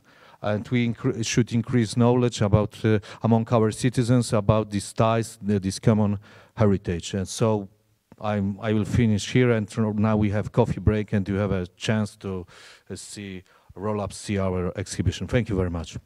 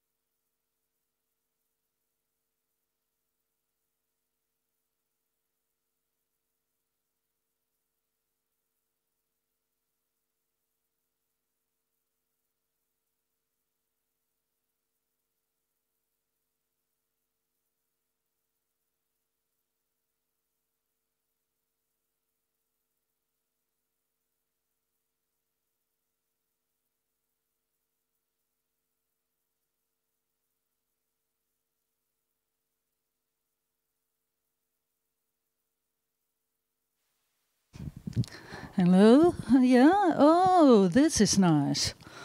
We can actually hear something. Hmm. Okay, let's begin. Welcome to our panel on the culture, propaganda, and the emergence of new states in Eastern Europe after the First World War. Everybody hears? Yeah? I suppose yes.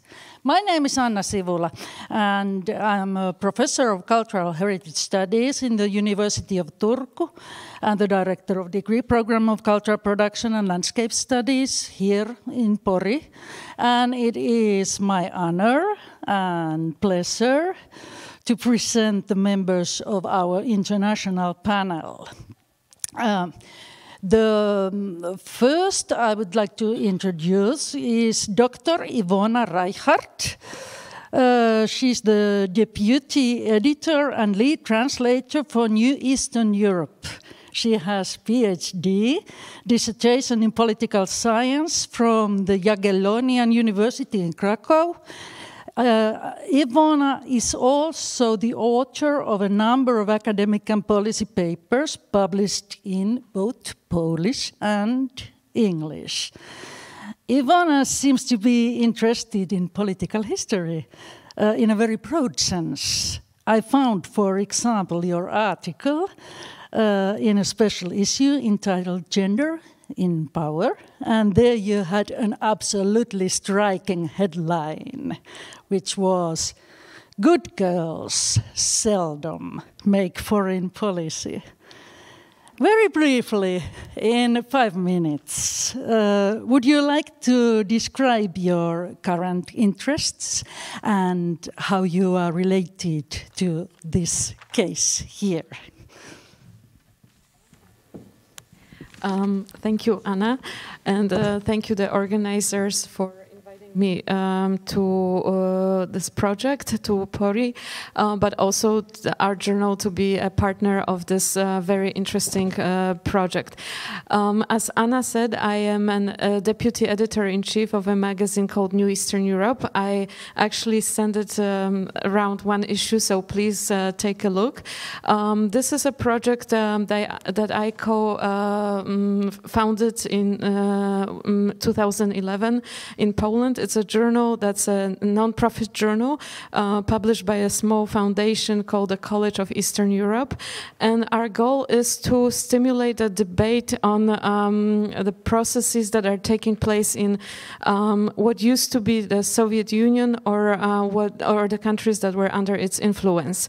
Um, so this is how we understand the term uh, New Eastern Europe. Um, that is why we are participating in this project, which um, aims to to look at the First uh, World War and its consequences from this broader than just Western European perspective. We were very happy to be able to publish a, series of texts uh, in 2018 um, that were related directly related uh, to this project and I would like to thank Adam for coordinating this and uh, approaching us with this idea. Um, as Anna said, in addition to focusing on Eastern Europe, I am uh, deeply involved in women in foreign policy in Poland. We are now trying to set up an association, so it's very dynamic, um, not easy, um, given uh, that our country is now taking a more conservative um, turn.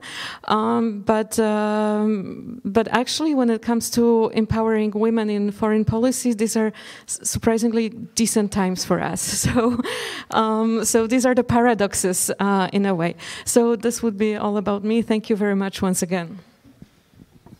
Thank you, Ivana. And the next panelist um, is Dr. Monika Kareniauskite. Uh, she's a senior historian researcher at the Genocide and Resistance Research Center of Lithuania. Her works uh, are on criminal law and criminal justice in Lithuania and in the Soviet Union after 1970.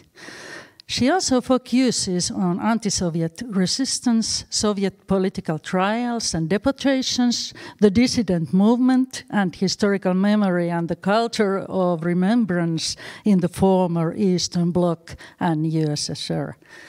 uh, it's obvious that you are somehow uh, related to this topic. Would you like to tell some more about it? Yes, sure. So, uh, good afternoon, everyone. It's my pleasure to be here, and thank you very much for inviting me to your wonderful project.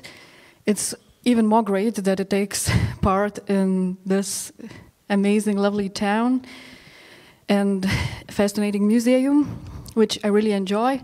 So, uh, well, uh, what more about me? I'm currently uh, well, my, my doctoral thesis was called uh, Crime and Punishment in Soviet Lithuania, and now I continue this topic, uh, the criminal prosecution system in in Soviet and post-Soviet Lithuania and Russia. I compare two cases, and I work. My my work is now in Yale University.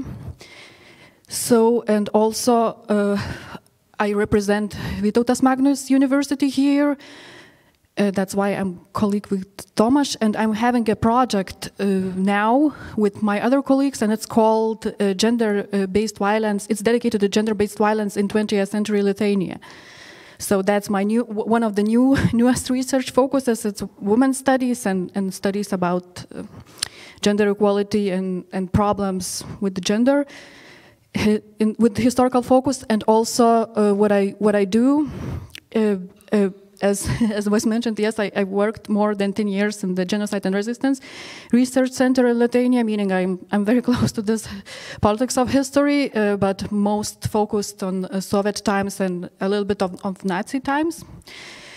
And also, uh, I am a member of the supervisory board of Platform of European Memory and Conscience, uh, meaning also we have some projects connected to European history, European memory, and so on.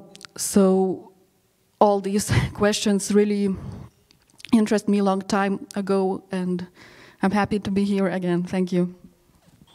Thank you. And our third panelist is Professor Associated Ilva Skulte. In her turn, uh, she's the head of study program of Communication and Media Studies in the Department of Communication Studies in Riga, uh, University. Uh, during her research career, Professor Skulte has been interested in psycholinguistics and cultural journalism and creativity in new media. Uh, uh, so, uh, would you, in shortly five minutes, describe your current research interests? I'm also very happy to be part of this panel and to visit Pori. Uh, and I think also to talk about very important topics that connect our roots. Uh, my current projects are very different. First of all, I would like to stress that I'm probably representing the communication science as the only pan uh, panelist here.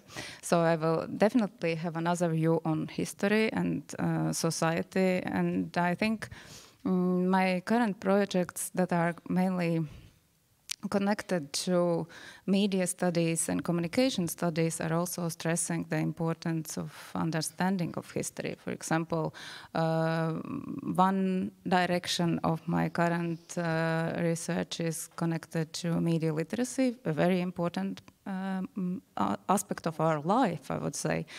Uh, and um, I think it's always shows that the people need to understand history work with concepts, work with myths and um, cultural representations that are the topic of our panel.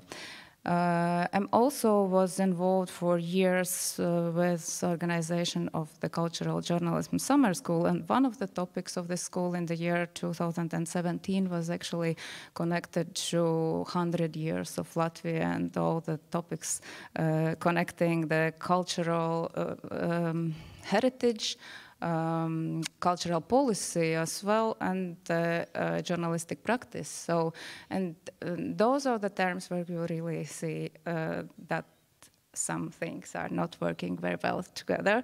So that the, um, um, broadly speaking, uh, bringing the history uh, into contemporary communication is a very important issue and um,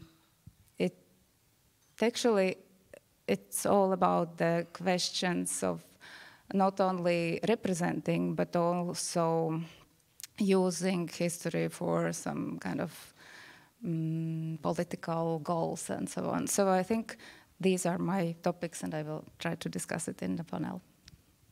Thank you very much. So it's uh, uh, historical culture and history politics. Would you say so? mm. Yeah, it's possible. At least those um, crossing points are always mm, most interesting for me. Yeah, absolutely. Yeah, and then to our fourth uh, panelist, uh, Vlad Vernygora. Uh, he's a doctoral candidate of social sciences at the University of Lapland.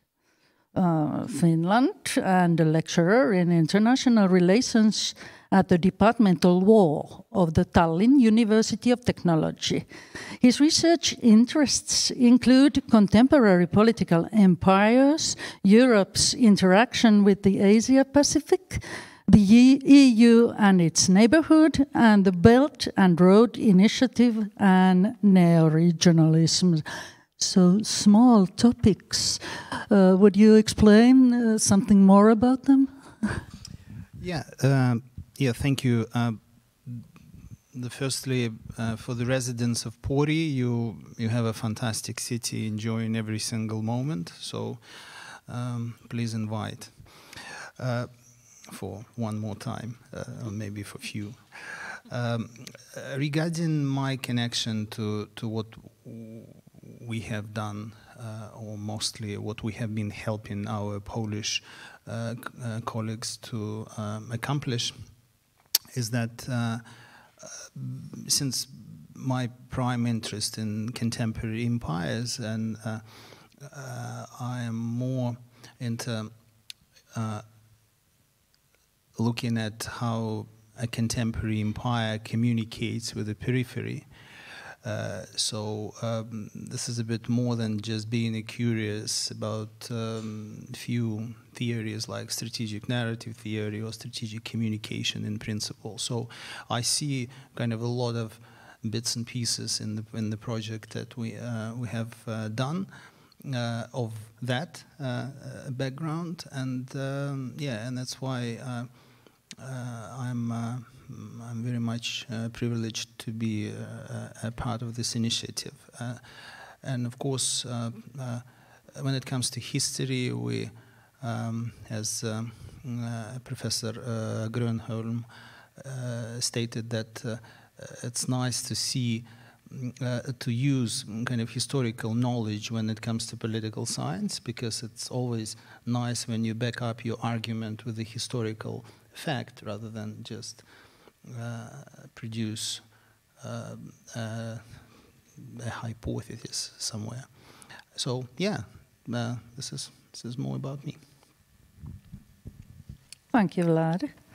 And the fifth panelist of ours is from Finland. Ville Soimetsä. Uh, I think you're known uh, also on another name. Yes. My is this on? Yes. Yes, my former last name is Laamanen. I took a new name.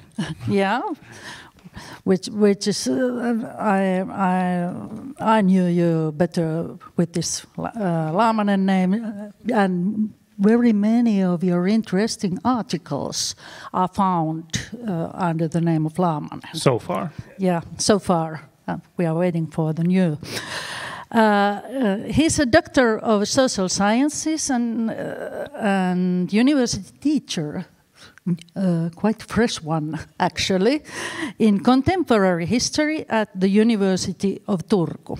Recently, he has been teaching about politics of history and remembering during the 20th century the interaction of politics and culture, the individual's role in history, and the methodology of historical research and the general history of Baltic Sea region, which is not a very small area either.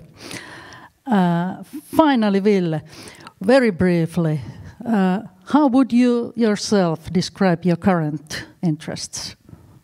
Research interests, of course. Th thank you, and thank you all.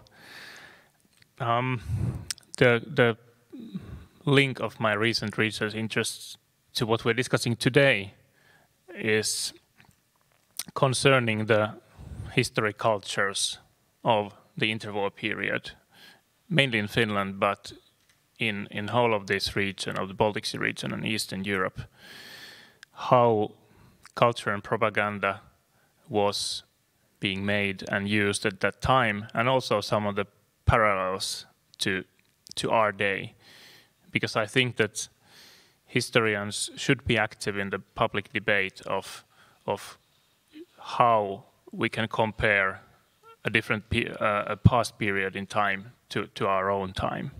We we must be careful, but we also must be outspoken and, and cold-headed. And because history is being used by society, by different actors all the time, I think historians who have the tools of the trade may be better than, than some other people. Not to not to think that we are the only ones who, who should use history, but but to take part in it. And and I've recently been thinking about and written writing about how this culture of a new, newly independent Finland, the Finnish people and Finnish nation, was constructed uh, during the 20s and 30s. And to very briefly sum up, um, I'd be interested in the narrative of national reconciliation after the Civil War of 1918, because as you know, uh, pretty much all of the countries of this region had conflicts, but Finland had a very kind of by def definition an, an internal, mo mostly internal civil conflict.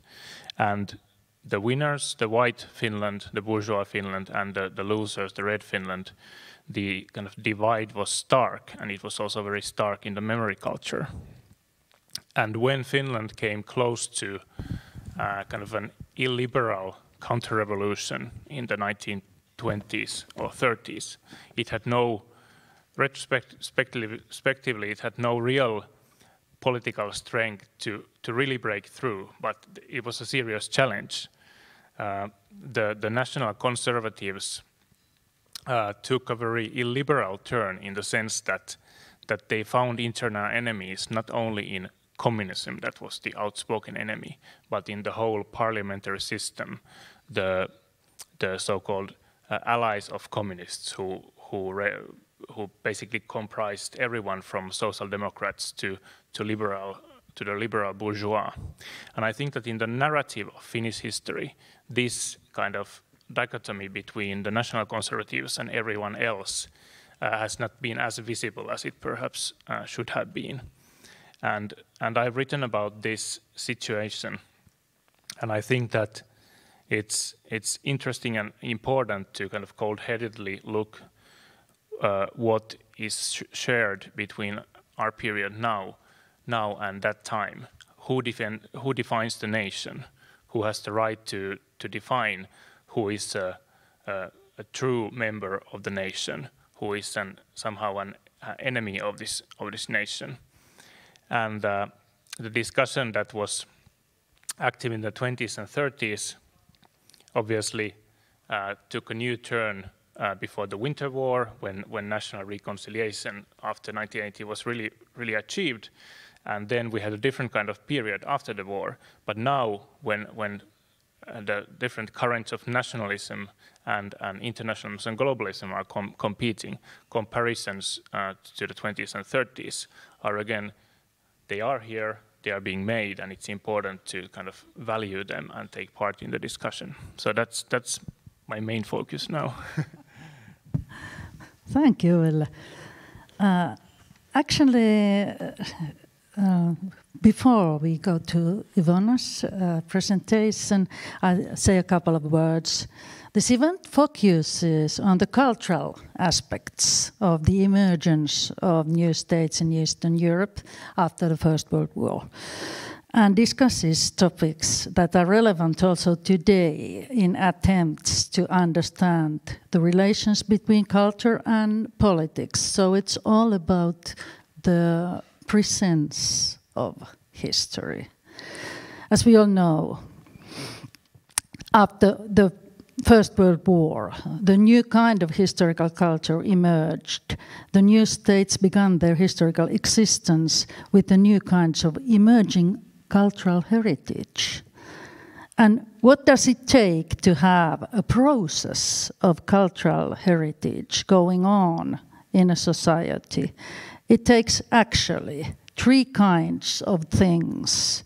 First, what is needed and always present is a shared history or frame story, also sometimes referred to as a master narrative. And you can be free, freely choose your terminology, whatever best suits to your frame of references, because it's the same thing we are talking about.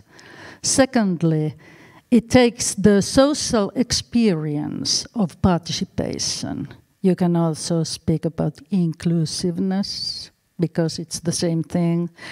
Without the participatory experience, there is no cultural heritage of any kind because, well, if there is no participatory experience, the heritage does not belong to anyone.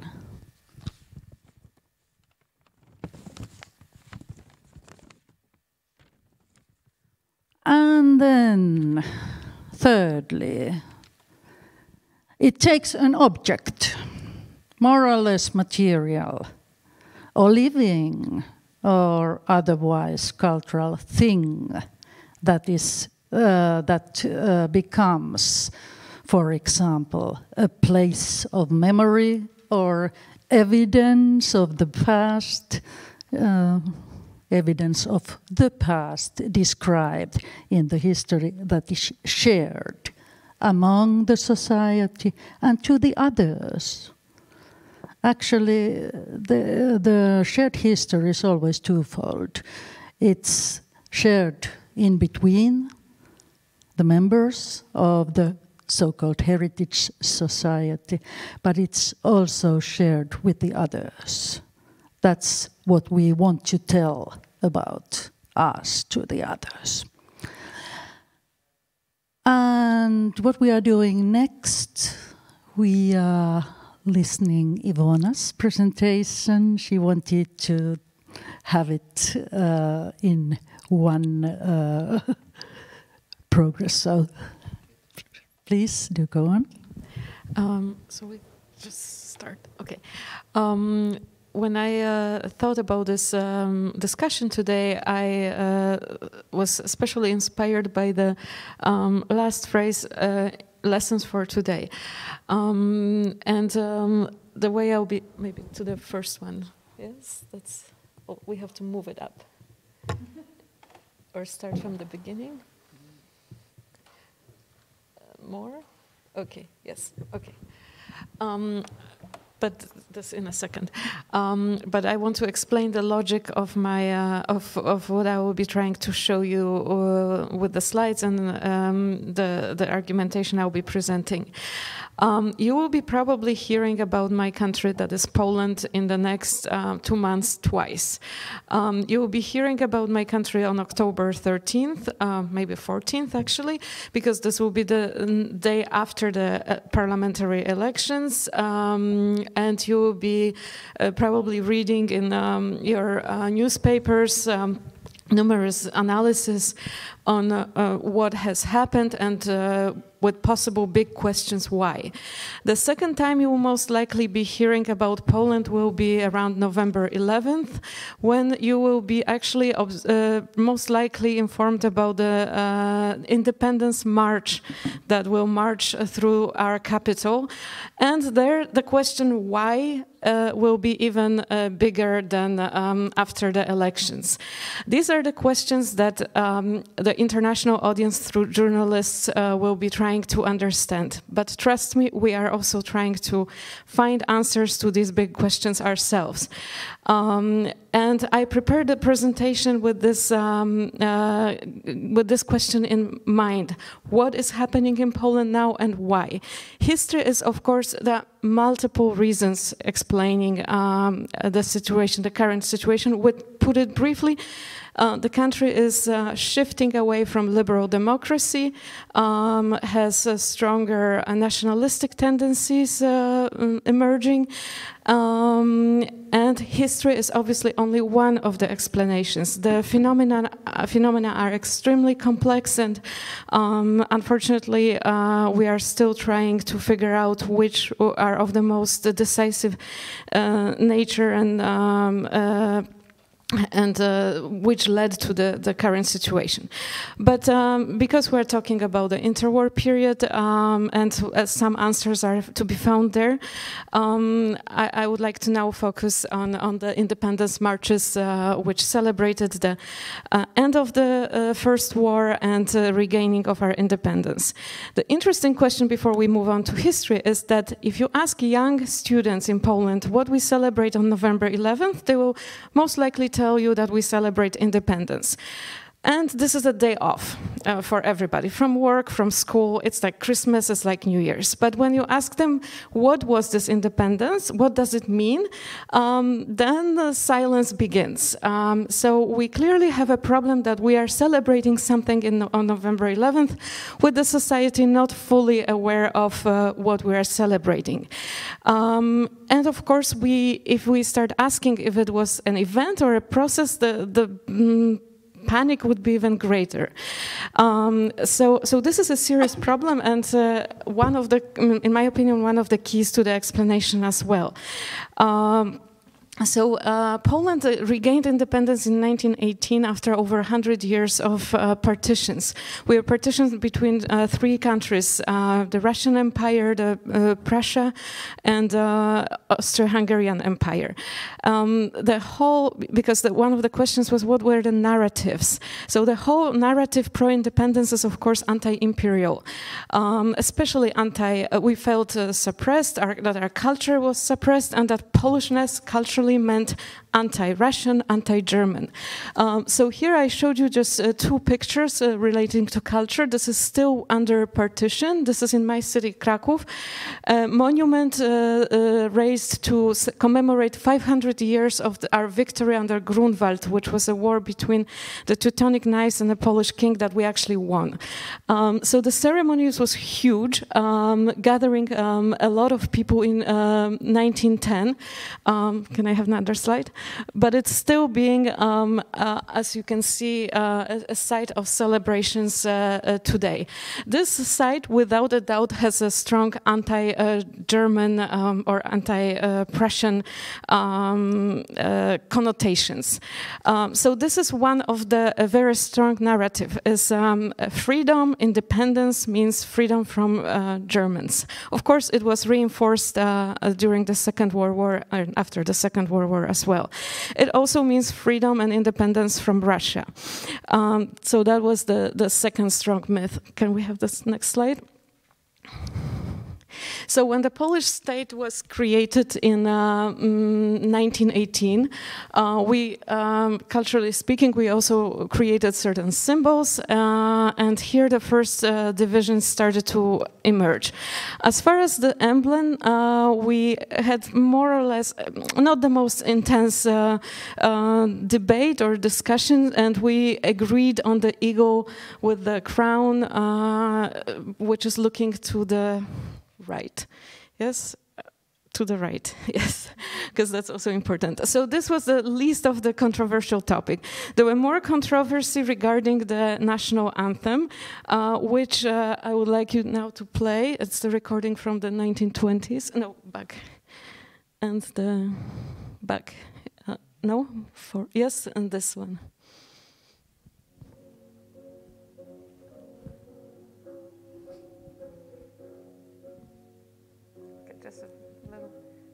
First words, yeah?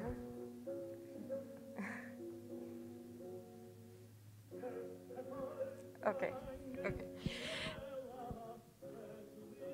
We can stop. Okay, so this was the song that was of the Polish troops uh, uh, of the 19th century, and uh, it was actually contested by the right wing as not religious enough. It, it, doesn't indeed have religious elements. It's a secular song with a good rhythm, um, and it was uh, selected uh, as a national anthem. Actually, in the 20s, it wasn't officially the uh, national anthem, but the soldiers were ordered to stand straight when it was played. It was slowly introduced into schools, and it became the national anthem, however, not fully agreed on uh, by all forces. Can we go? But it was uh, it became part of the official uh, uh, state policy to, to to play the song at the numerous uh, state ceremonies. And to show you the official ceremonies I have to point to uh, Józef Piłsudski and his camp. This was the sort of we can say head of state uh, of independent Poland a man who was associated with the regainance of independence. And the official state rhetoric was that um, independence was gained th thanks to his skills as a, as a leader, as a military leader, Polish soldiers, the legions, uh, as well as a favorable um, uh, international situation. And this prevailed in official state ceremonies of independence. In the beginning, we didn't even celebrate November the 11th. We still celebrated as official um, uh, state ceremonies the uh, May 3rd, which was the Constitution Day. But the, there was a sort of cult of uh, Piłsudski cult of uh, the legions of the Polish troops and the Polish society as such. Um, this became sort of official state propaganda, and uh, the tendency, the characteristic of this uh, um, group of, of, the, of this, uh, uh, as we call it, uh, Piłsudski camp, was to sort of eliminate. I mean, to eliminate opposition. So. Um, it was uh, this view and uh, not inclusive towards other understanding of independence. Yes. Next one.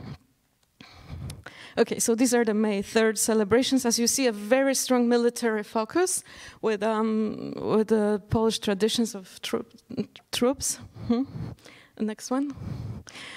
Um, another thing that the state also promoted was the positive um, achievements of the uh, independence, and this is through science and uh, uh, other artistic mm, achievements. This is a, for 10 years we had an exhibition in Poznań showing what we have achieved in the last 10 years. You have you see also a typical architecture of that time. So this this is how the state was presenting the, the achievements of independence. Next one. Competitive to this approach was the um, approach of the um, National Democrats, which is a more nationalistic uh, um, group uh, led by a man uh, named Roman Dmowski, who was a Polish negotiator at the Treaty of Versailles. And he is uh, attributed, uh, he's said to be the, uh, the person who brought us the Baltic Sea and access to the Black Baltic Sea, very important for the Polish state and also the Western territories. Um, however, uh, the Dmowski's views uh, differed significantly from the views of uh, uh, Piłsudski, and also his understanding of independence was not that it happened in November, on November 11th, but it was actually the anniversary of Versailles. So it happens. So we have the second date of independence in the in the war period. That is the uh, that is June 28th, and this is when uh, Dmowski and his followers were supporting independence with their own para parades, with their own ceremonies. Uh, and here the heavy, uh, heavy um, emphasis is not put on the Polish society, but the Polish nation, uh, strong anti-German um, rhetoric, and also a strong religious component. Um, this group also introduces a parallel anthem, and maybe we will listen to this. This is a song that was written by a Polish poet. It's called Rota and it was about it was a uh, it, it, has a very strong anti-german uh, connotation and message. And religious as well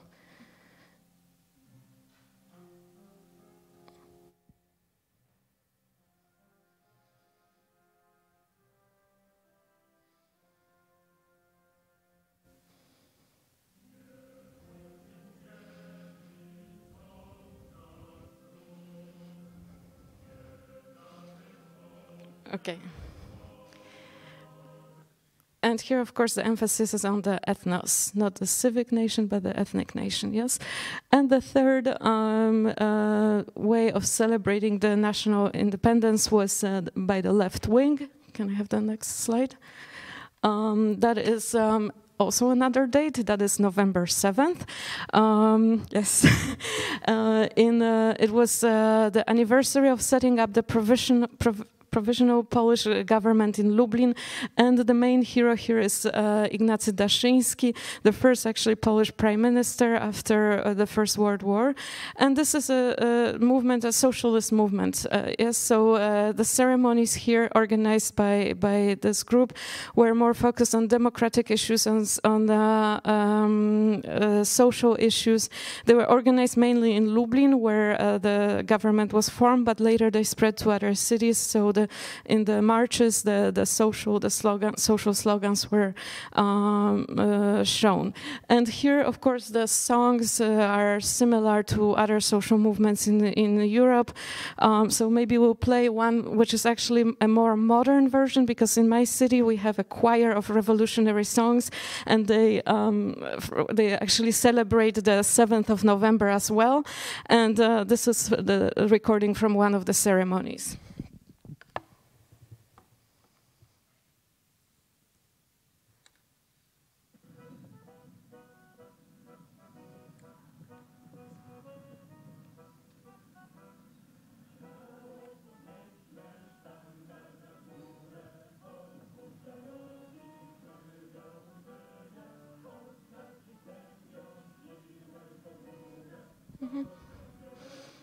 Okay, so as you see in the interwar period, we have uh, three different understandings of independence, three different aesthetics that come with this uh, interpretation, and uh, one state. Yes, uh, so um, this is an, an, unusual, I would say, maybe situation. But uh, there's one thing I would say: these uh, all three narratives have in common. That is, they all try to point out to one day of independence. Yes, these are three different dates, but uh, they all focus obsessively as if fixated on November 11th, or um, which became the official state uh, uh, holiday in 1937, actually, uh, but a little later. But this is the date, or uh, June 28th, or November the 7th. Um, what, the, uh, what is the failure of this kind of thinking? We completely forget about the process. And this unfortunately has stayed with us until today. That's why when we ask young people what happened uh, on November 11th or when what is Poland, Polish independence all about, they can point out to the date, but they seem to be um, unfamiliar with the process, which we social scientists, of course, know that this is the key and this is where the answer lies.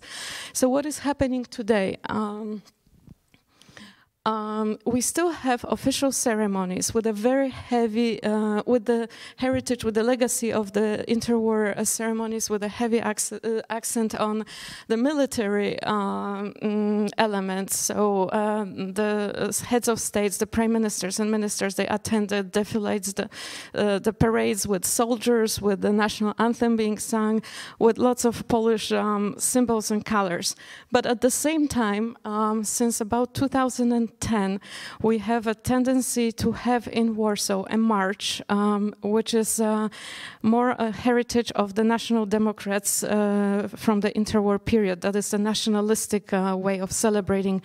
Um, celebrating uh, independence. Uh, it has been like this, as I said, since 2005. However, since 2015, a very worrying uh, phenomenon has starting to take place. That is, official government representatives are taking part in this uh, nationalistically uh, oriented um, events. So, as you see, uh, in 2018, when we celebrated 100 years since uh, gaining independence, our president is standing in front of the march that uh, includes nationalistic forces who actually have uh, uh, kind of identity connections with the interwar fascist groups uh, that existed in Poland at that time. Um, maybe I will just show you the last thing. Uh, aha, here is the um, the left wing still celebrates the um, uh, November the seventh. However, as you see, and you saw this with a group of people singing, this is a very small group. Uh, left wing overall is rather uh, small in Poland. Maybe now a little bit growing back in power again, but uh, uh, these are much smaller in number of people attending. The March, uh, the November March is a huge uh, event taking place in Warsaw. And I just want to show you a sh very short film of what it looks like.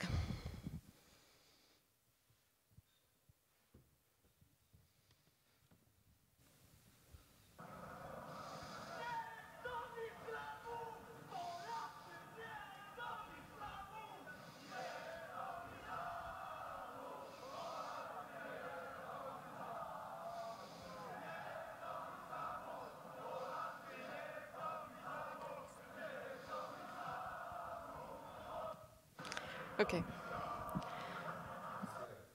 Okay. Oh. Thank you, Iwona. And I think we will have some comments from Lithuania now. because uh, would you would you want to say that there is uh, at least three cultural heritage communities in Poland, political cultural heritage communities with different kinds of shared histories. Absolutely. And those uh, anthems and. Yeah, go on. You're finished. Okay, good. So, what I'm presenting now, it's perhaps uh, I would say the only symbol in Lithuanian national identity which is not uh, exclusive but inclusive, which is not dividing, but which is actually uniting people today in our society and uniting uh, Lithuanian national minorities and kind of this uh, narrative. And this symbol, as you perhaps know, comes from the uh, GDL, meaning Grand Duchy of Lithuania, so this bigger state which consisted of what is today called Lithuanians and uh, Ukrainians and Belarus people, so this multi multinational state or empire, soft soft way of empire, as as some scholars say. So that's it. But before that, perhaps I'll give some perspective of uh, what it used to be with the politics of memory in Lithuania in uh, interwar period and which uh, of these uh, myths still continues today and shapes today's Lithuania's national identity. So, uh, first of all, Lithuania uh, signed the Declaration of Independence in 1918 uh, before that, uh, since 1915, uh, it was uh, three years of uh, German occupation, so during the First World War. And then they fought three wars the, with Bolshevik forces after, after revolution and as a part of Russian Civic War. then so-called Bermontians army and Poland. And due to these wars, the first two were won by, by Lithuanian, young, emerging state. Of course, because of uh, these conflicts, it couldn't start uh, civilian life in these two years. And uh, yes, and then uh, the military, the, this kind of the, the, beginning of mili military kind of pro pro pro propaganda started, and uh, in Lithuania, the whole uh, period there was this martial law and state of war, even even if, if after that there was no ac active after these kind of three conflicts ended, and it was in the 1920, there was no active active war going on or military actions. Uh, so yeah, and uh, what was considered to be the biggest uh, biggest loss of of these three wars is it was the city of Vilnius the old capital of the Grand Duchy of Lithuania, and it came to, to Poland. Uh, Vilnius is a separate story because at least three or four ethnic groups and nations claim their rights in it.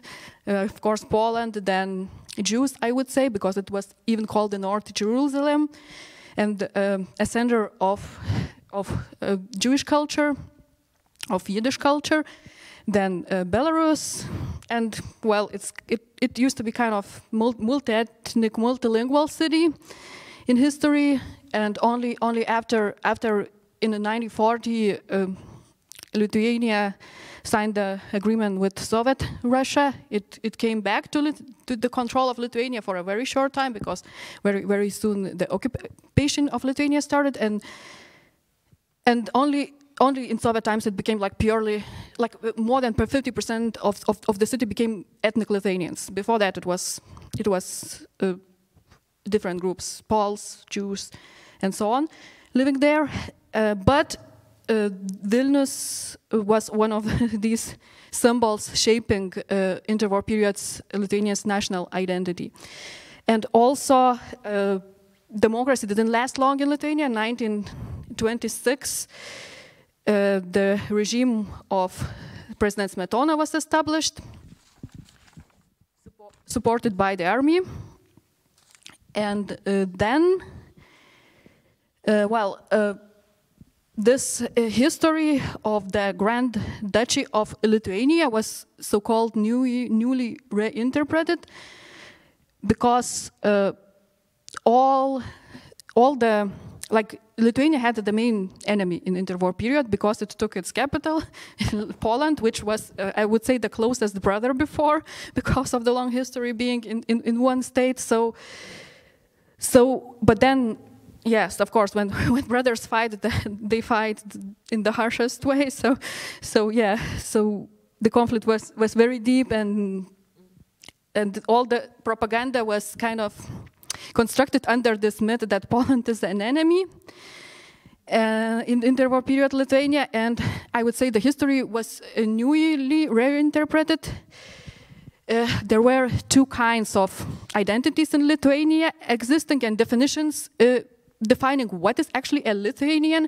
So the first one uh, was based in, in the Grand Duchy of Lithuania, GDL, and they kind of thought that uh, it's not language, but the identity which defines uh, what is Lithuanian. Uh, so, for instance, Czeslaw Milosz called himself Lithuanian too, even if he, if he, was Polish, but for him it was no contradiction because he understood himself as a citizen of this old country, this old empire, if you want, or soft empire, not, not this kind of empire as Russian empire, for instance. And uh, the new Lithuanians, they were like um, emerging in the 19th century, and the, this movement was, of course, ethnic-based kind of Lithuanians and more closed, more nationalistic perspective. So uh, I think this discourse dominated in interwar period Lithuania, this new Lithuanian discourse, ethnic discourse, uh, based on the language and ethnicity. And uh, in 1936, uh, the new history of Lithuania was written, a new interpretation of, of the historical events. Uh, it was written by Adolfas Šapoka and called The History of Lithuania. And the narrative which continues in this book is that Lithuanians in, in the course of history were always either heroes fighting for their independence, either victims of the other nations. Of course, the biggest enemy was Poland, which, uh, which I will tell a, a, little bit more broadly in a few seconds about, but also uh, Germans were problem, Russians, and so on. And uh, the decline of history was seen like uh, the Grand Duchy of Lithuania before uh, union with Poland was seen like a huge, great state. And after after they signed this union with Poland, uh, the decline came, according to this myth and belief. Uh, so, yes, that's it. And yes, and also, what is important to say that Lithuanians were those kind of heroes, but the heroes also had a victim in, inside themselves, uh, this victim attitude that everyone are, are, again, are against us, this kind of thinking.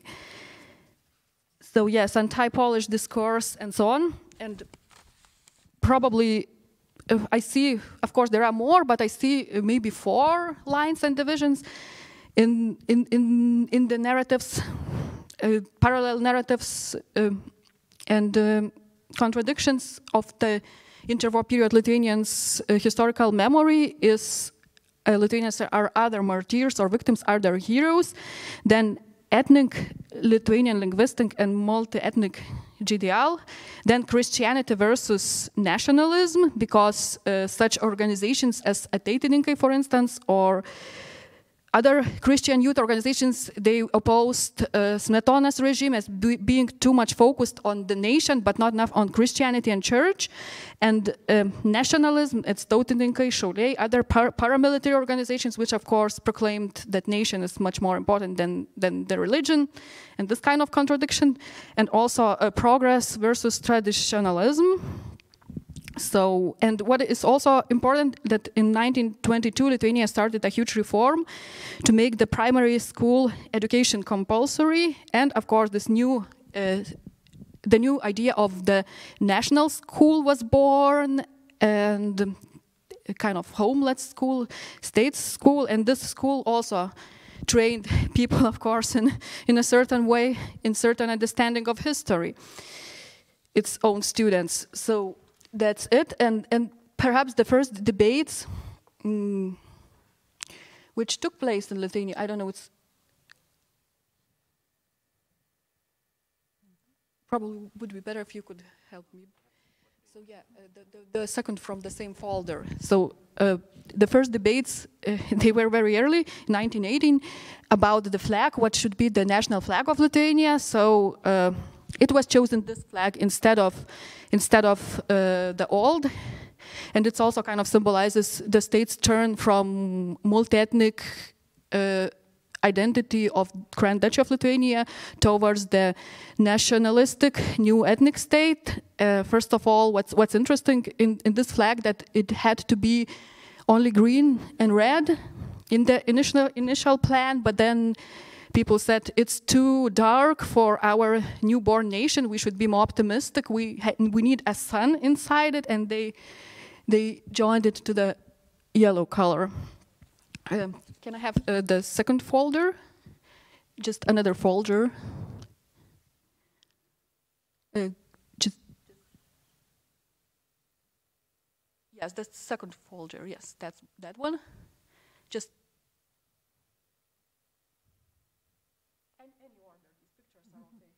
doesn't matter. So uh, another big trend in interwar period Lithuanians' culture of remembrance were so-called huge celebrations. One of those, oh, it's about Vilnius. Okay, it's about Vilnius. So yeah, can, can I show uh, another slide?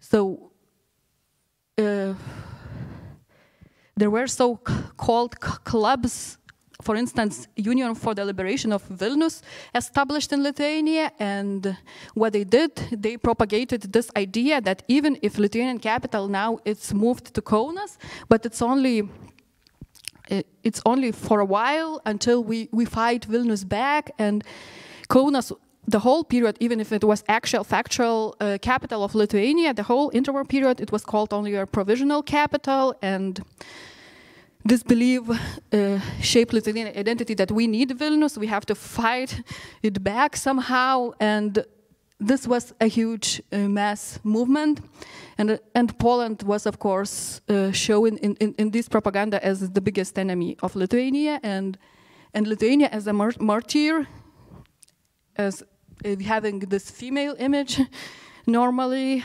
or uh, can I have another another picture? Or as a, sometimes it was uh, depicted as a suffering mother. Here is another book like Vilnius. Uh, it belongs to Lithuania and Lithuania to Vilnius. It's said, or our Vilnius. Yes, another. Then, yeah, you see this symbol of Poland we, we saw before is this bloody eagle doing bad things for poor Lithuania, suffering, suffering mother. That's also kind of negative, negative depiction of Poland. And yeah, unfortunately, sorry about that. that Okay, so so so so that that, that was the main. And and and uh, what what what was the, big, the biggest paradox of this culture of memory that Lithuania actually forgot that there were two bigger enemies very close to its border, meaning uh, the Third Reich and the Third Rome, and uh, Vilnius was regained only for a little while, but but the price was huge. It was the first Soviet occupation and followed by uh, Nazi occupation, Holocaust, and all the terrible things. So that's about Vilnius. Can I have another another folder?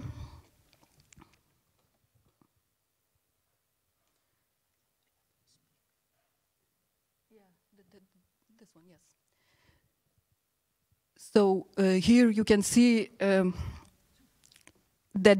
Uh, anniversary of the death of the Grand Duke Vytautas, or Vitold, how it's called in another nations of the Grand Duchy of Lithuania. So it was uh, the commemoration of the events which took place in 1430, uh, so 15th century, and then in 1930, the huge, huge, huge uh, campaign was organized in Lithuania. Uh, the picture, the portrait of uh, Grand Duke Vytautas was carried in different towns and cities and communities, and people were celebrating. But what's also interesting is in, in these events was stressed not only that he as Lithuanian historical books said, won this uh, Grunwald battle because they said that Lithuania, not Poland, won this battle.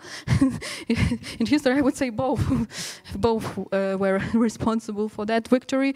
But it was like uh, he was depicted also like a hero, so the great warrior, but also like a martyr because it was believed this conspiracy theory that Poles kind of were responsible for his death, did something, or did something that he was not coronated as a king of Lithuania, so kind of Polish conspiracy was seen in these events even. Yes, uh, but the huge celebrations took place uh, at other pictures. Yes, that's another town of Lithuania, another community.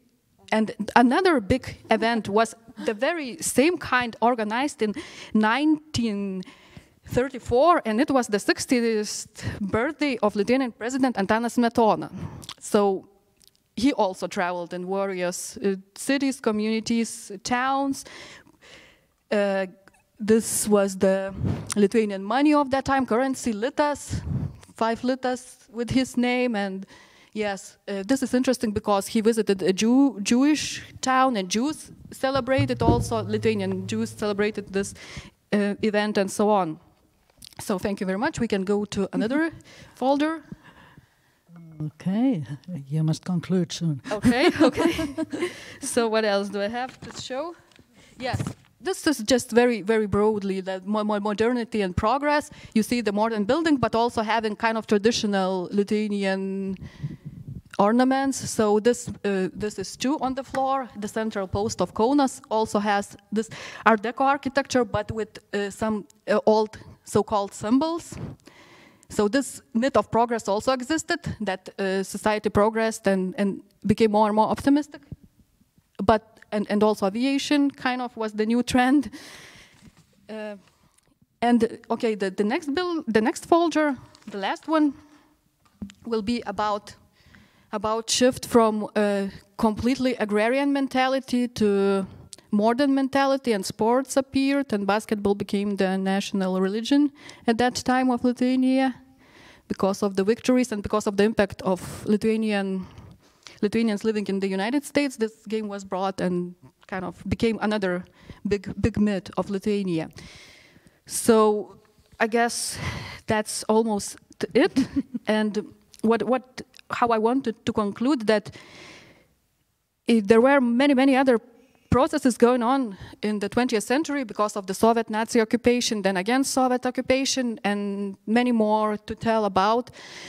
But what is interesting that uh, this myth of Lithuania, either martyrs and uh, victims, either heroes, it's still present. Here, only new heroes are created and the history are kind of reinterpreted in, in the newest way. And now we have a lot of debates about the Holocaust, uh, who is the collaborator, who isn't, and the, those cases when the person was a, member of anti-Soviet resistance, but also participated in the Holocaust or in Nazi administration, how those cases could be interpreted.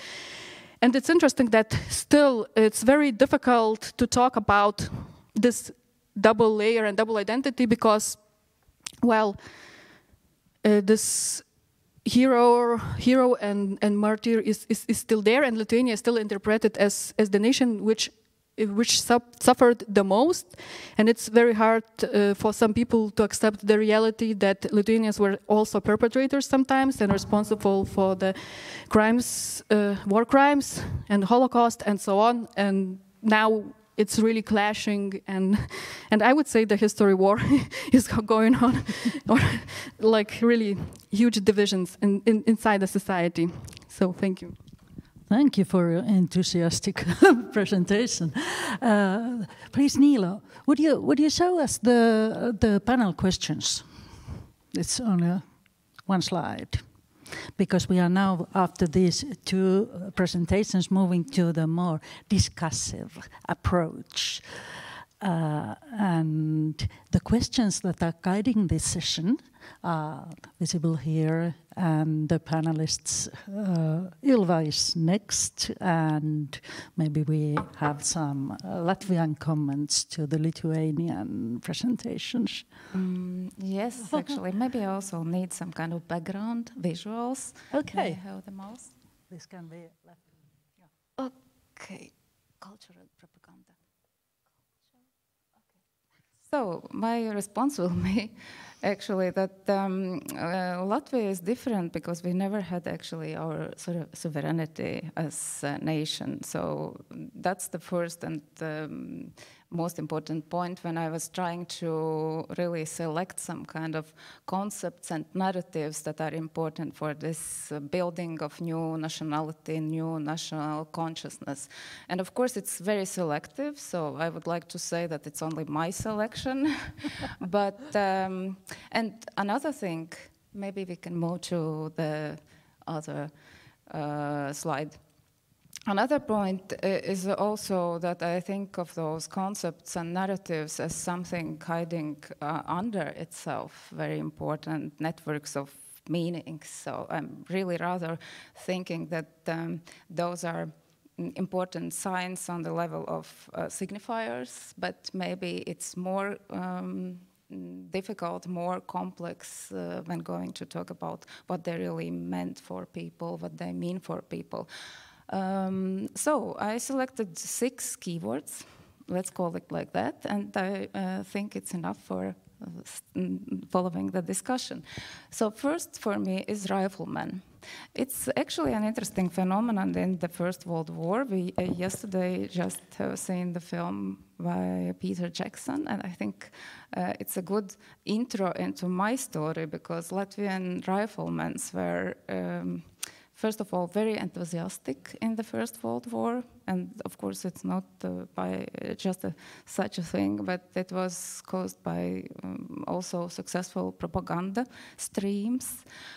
Uh, second interesting thing about this concept is that uh, actually the rifleman story was also supported by Soviets because after uh, 1917 uh, Latvian riflemen were those who were guarding Lenin and um, also very uh, important uh, part of the newborn Red Army.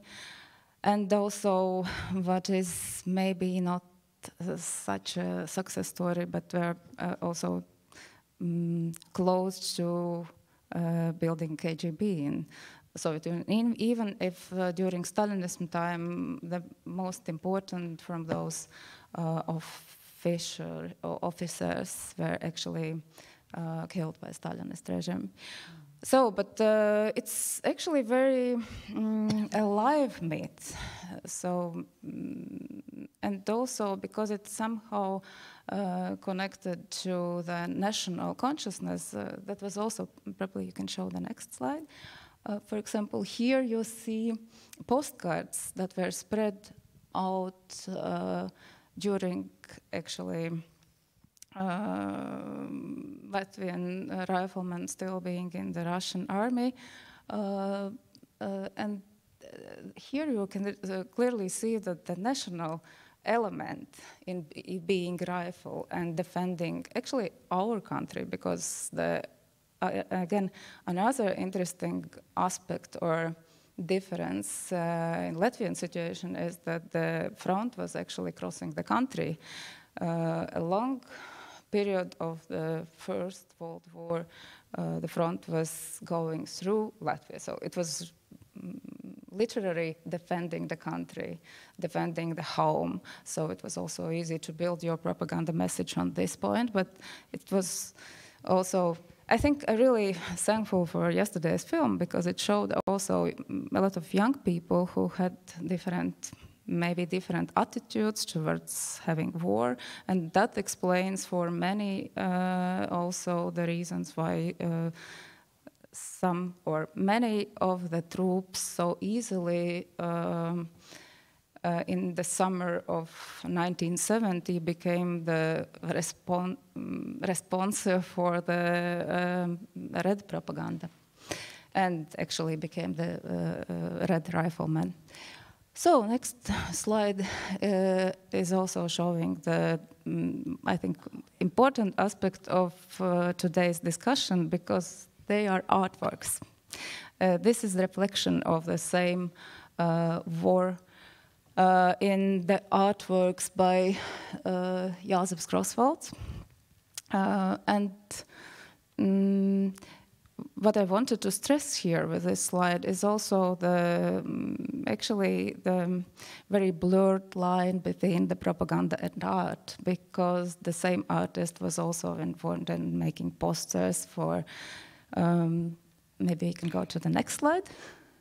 Um, here you see uh, for refugees. A lot of Latvian uh, farmers actually um, became refugees, along with also workers of big industry companies, because also companies. Uh, Riga was the third biggest uh, city in Russian Empire to the beginning of, of First World War. So uh, the plans were along with workers also evacuated into the depths of Russia. So, um, and of course, those people needed support. And of course, the, those were broken lives. So I think it can be also said that we somehow have a treat of our mentality um, from from these times as um, people who suffer under uh, foreign powers. But of course, um, this aspect I think is also very important today because of two reasons. First of all, uh, this is the immigration uh, based on economic uh, reasons uh, that made big titles in the media in the last 10 years already, and the plan of national plan of actually somehow attracting the people back home. And the second, the parallels that were also made uh, during refugee crisis and uh, 2015 uh, with actually different waves of emigration from Latvia. So this mentality, I think, is also important. But I would like to propose this concept a little bit in another way about coming home. So maybe we can have another slide. So, and then home. I think it's probably uh, true for all, all, of our countries that uh, our national consciousness is uh, strictly built on the uh, farmers' uh, style of life, agriculture as the main business, and actually the beauty of countryside life.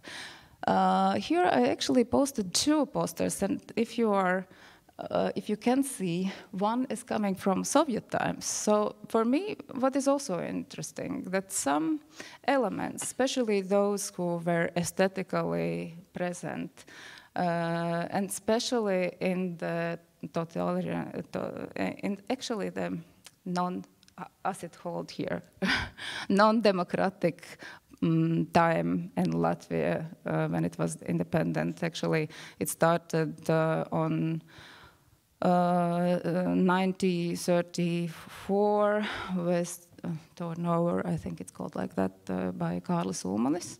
Very interesting personality in Latvian history because he was also one of the first uh, presidents and uh, one of the first persons actually who, who pushed the uh, Declaration of Independence.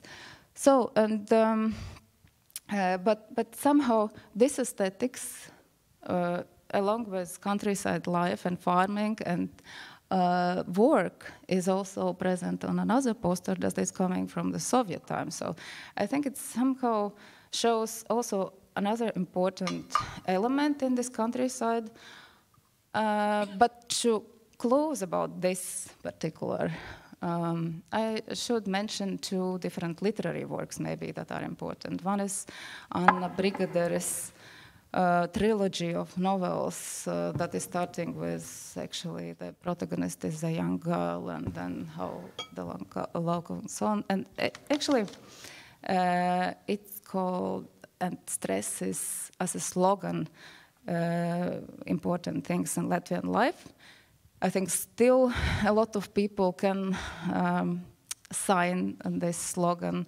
This is uh, God, work, and uh, and nature.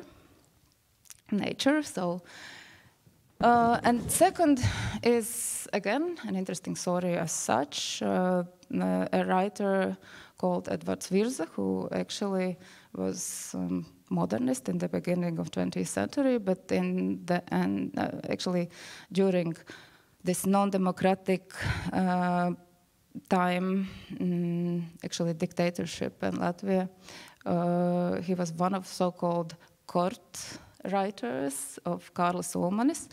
Uh, his cult uh, thing or cult work, the poem describing the uh, living in the Latvian uh, yard in seasons and seasons. Uh, so I think all those examples show how important the work God or this religious, even if it's Mm, it, was based rather not on Christian religion, uh, but on uh, the kind of newly discovered new uh, cult, you can say like that, the Latvian Baltic uh, type of religion. Uh, so the, the uh, work, God or religion, this spiritual dimension, and also nature is important here. So please, next slide. Uh, the fourth uh, keyword is Daugava. And that's an, another interesting thing. So you see the map showing up actions on, in First World War. You can see that Daugava River was important border. Of course, the front line was going uh, farther on to north to Estonia. Uh, later in the year uh, 17, 1917. But Dauga was also important for Latvian riflemen, and it became rather later, and then actually, when the Latvian state was established, an important symbol for, uh, like a symbol of mother who actually has to uh, gather all child, all children of the nation together because it was actually an interesting question about Latgale, the eastern part of Latvia. Latgalians are still, um, let's say, different culturally and uh, uh, also uh, majority of Latgalians always belong to uh, Catholic Church and the rest of, the, of Latvia is rather uh, Lutheran Protestant. So it's also important to understand the, uh, the closeness to Russian border there. Uh, so it's also today uh, often come into public discussions and also worrying of people that um, their uh, Russian influence there can be um, bigger than expected and bigger than uh, needed. So one of the uh, important thing that actually happened there was the Congress of Latvians that uh, where they decided to be part of Latvia. So, and then uh, next slide, please. And the next, uh, again, when speaking about propaganda and culture, uh, when I approach this from contemporary contemporary point of view, I would say that uh, singing and dancing festival uh, is most important tool of propaganda in Latvian country today. Of course, it's um, similar in uh, both other Baltic countries. However, as far as I know, and as far as I have read the research about it, uh, it is quite different in, uh, in all countries. So for Latvia, it's a mass uh, event. It's very important, it's very massive, it's very well organized, and it has this special feeling, you know, that the people, even of my age and my position, and even sitting at the TVs at home, are trying to understand why they are going to to cry. So it's interesting, and we can probably take on uh, this element if we are discussing so far emotions and so on. But let's go to next. So I, oh, I still have the last keyword and last slide. And this is, of course, my topic. As I said, I'm representing communication studies. So I think, I really think, so I really believe that um, the media played an important role in 20th century, and uh, as it is, as it is the case also today. And these changes in technologies are uh, very much um, also supporting the way of how not only uh, culture or nationality was represented and propaganda was built, but also um, uh, from the point of view of content, uh, the media like radio that was actually uh, developed in most of countries from 20s from 25, for example, in Latvia. Uh, and film industry that was developing this uh, time was actually supporting the uh, building of nation. And um, in the first slide, uh, you have seen the poster of the film that was called "Going into War." Um, uh, that is film that that actually uh, doesn't exist now. Uh, it disappeared. Uh, in the last slide, can you put the last slide on? In, the, uh, in this slide, you see um, the image from the film from 30, from 1930. Uh, that is also very important because it brings together uh, different uh, layers of the story about Latvians. the image as such, as you see, uh, the uh, actress Lilita Bērziņa is um, representing Spīdola, uh, or actually it's a reference to Latvian epos story, and um, uh, this story is very well connectable to the story of the First World War because actually it's a story uh, of uh, Latvians fighting against some foreign uh, power. And Rainis uh, the poet that was very important also for Latvians, also as a political actually figure. Uh, he put it, it, uh, it, into the play that was actually then more connected with, uh, in particular, uh, German power. So, of course, here in film, maybe you can um, just show a little bit the, how it's going on, because it was mixed with contemporary experience by people who were surviving the First World War. It's actually, the, the whole film is not about this uh, historical, um, symbolical time. Maybe you can just push it forward. But about the story of uh, First World War and gaining independence there. So I think it's mm, kind of uh, example that uh, takes all different aspects of this time together uh, based on the medium that was developing right there and right to this period of time. Okay, thank you. Thank you. Thank you for your visual narrative. yeah. And uh, if I understood correctly, Vlad wants to comment uh, as from the Estonian point of view, of course. And you wanted to say something about what were the semiotic conflicts, artistic battlegrounds, and attempts to influence narratives, which was one of, one of our guiding questions. Uh -huh.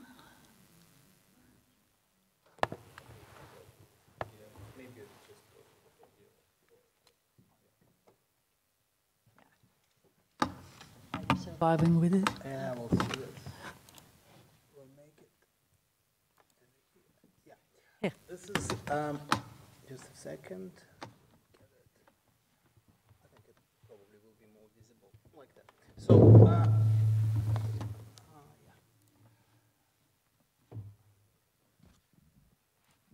uh, yeah.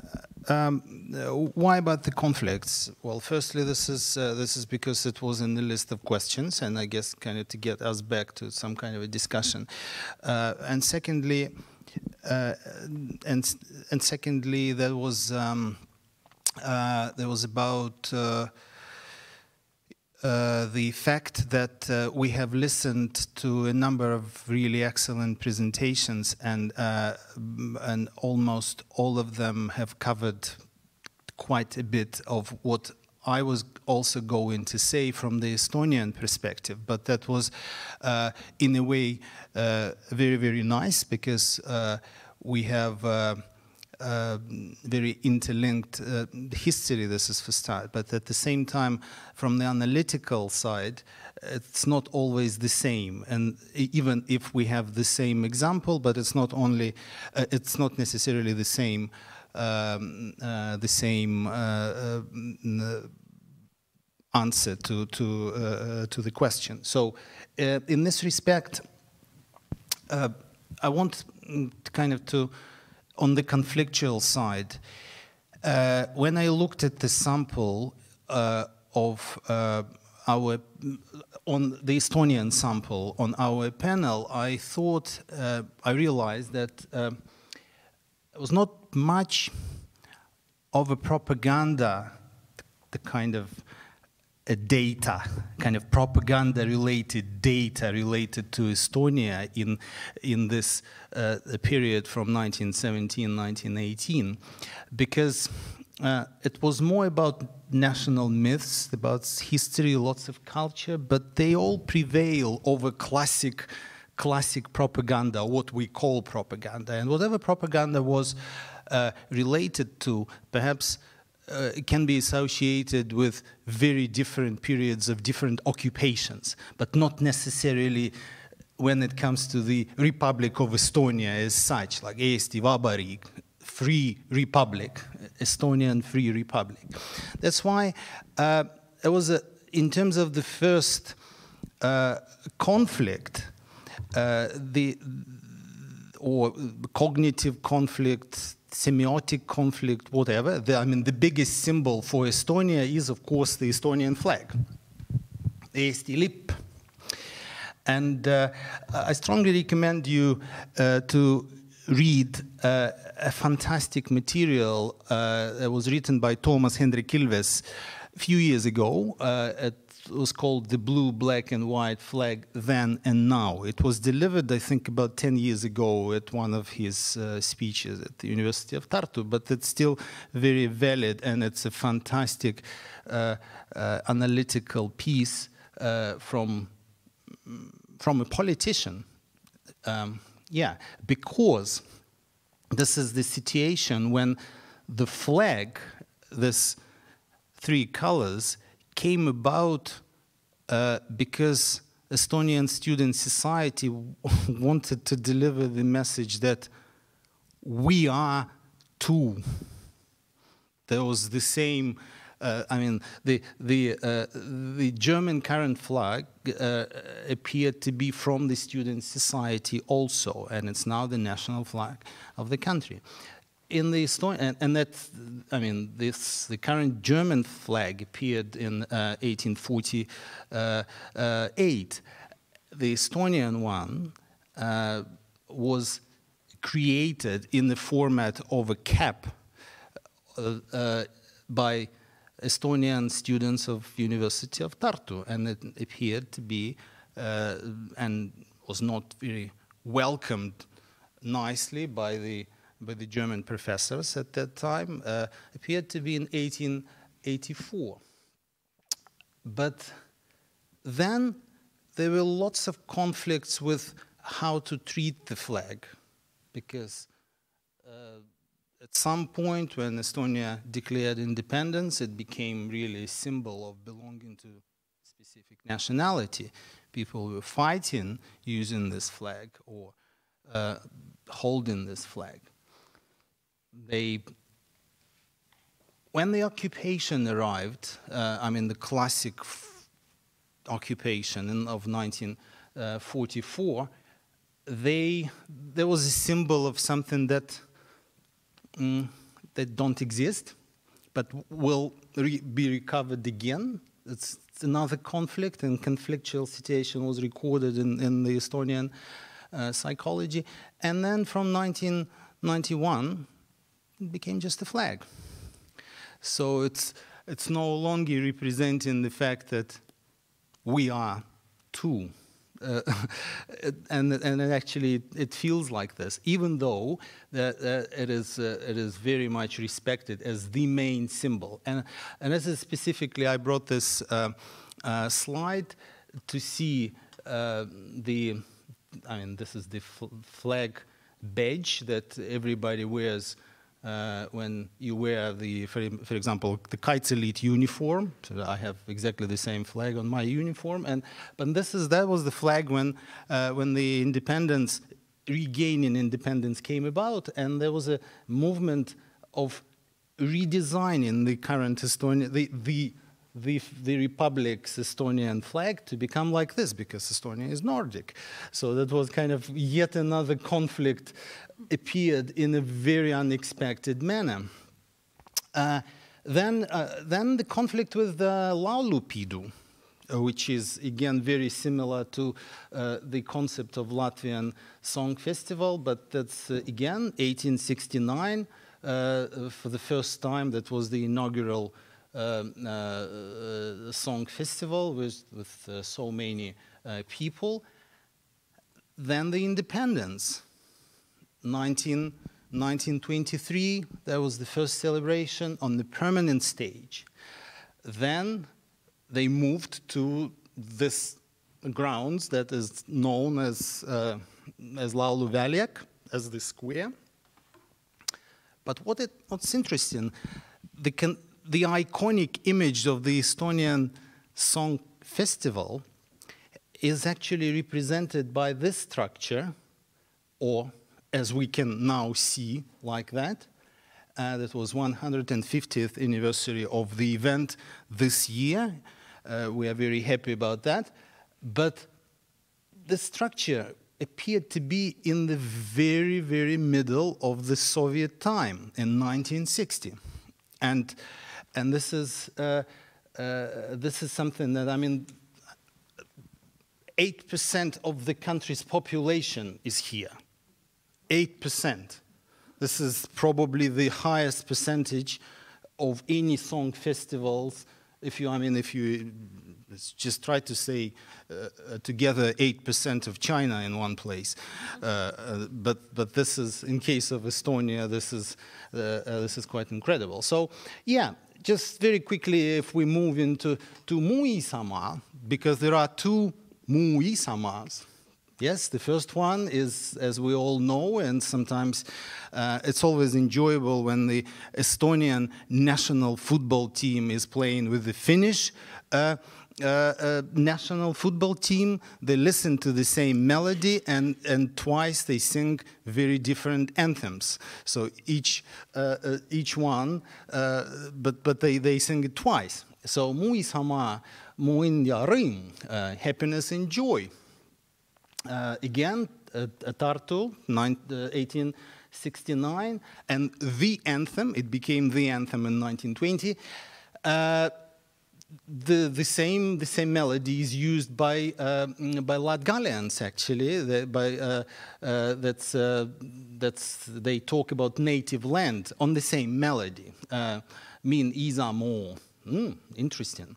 And and of course the Finnish the Finnish national anthem Maamme our land yes on the same melody. However, there is no Mu isamaa, Muin, Yarim in the Soviet time. And this is interesting because at the Laulupidu, Muisama on Minuarm, uh, the, uh, another important national song which was actually written, uh, there was the poetry of the daughter of the founder of of Laulu Pidu uh, initial, uh, uh, Lydia Koidula. Uh, that's in 1947. They they they uh, they prepared the the the performance in 1947 at at the song festival, and this substituted Mu isamaa for uh, uh, for, for quite some time until, uh, until regaining the independence. then Soomepoisid, there is another one which is an interesting uh, in, in, interesting uh, conflict in this respect. I will be very, very quickly uh, going into the um, just because, uh, but this is important to use this example of the Estonian Legion and the, and the Grenadier Division, uh, because there are some graphic uh, uh, material into here. Look, this is sinu mes, sinu vend, sinu poeg. Uh, so uh, your, your man, your brother, your son, they are fighting for you. And this is, this is maybe for the first time uh, was used by the Republic, by the Estonian Republic, something like that, very graphic and very expressive. Uh, that was during 42, 45. But, and, and there are a few other examples, as you can see, Eesti rahva, uhkus, uh, our, our pride, uh, uh, so the pride of our, of our people. In fact, um, yeah, and uh, some of the postcards also uh, that uh, let's get up and fight, it, it tells this, this poster. But why I'm making this connection? Because, you know, for example, when you open a book which is available at every single Estonian library on the Grenadiers, you can find this picture uh, of, a, of a person. Uh, I think uh, oh, his family name is Loorberg. Uh, and uh, there was a, there was interesting because initially I found that long time ago, uh, uh already knowing this gentleman, Tõnu Loorberg, who is the honorary consul of uh, Estonia in New Zealand. This is his son.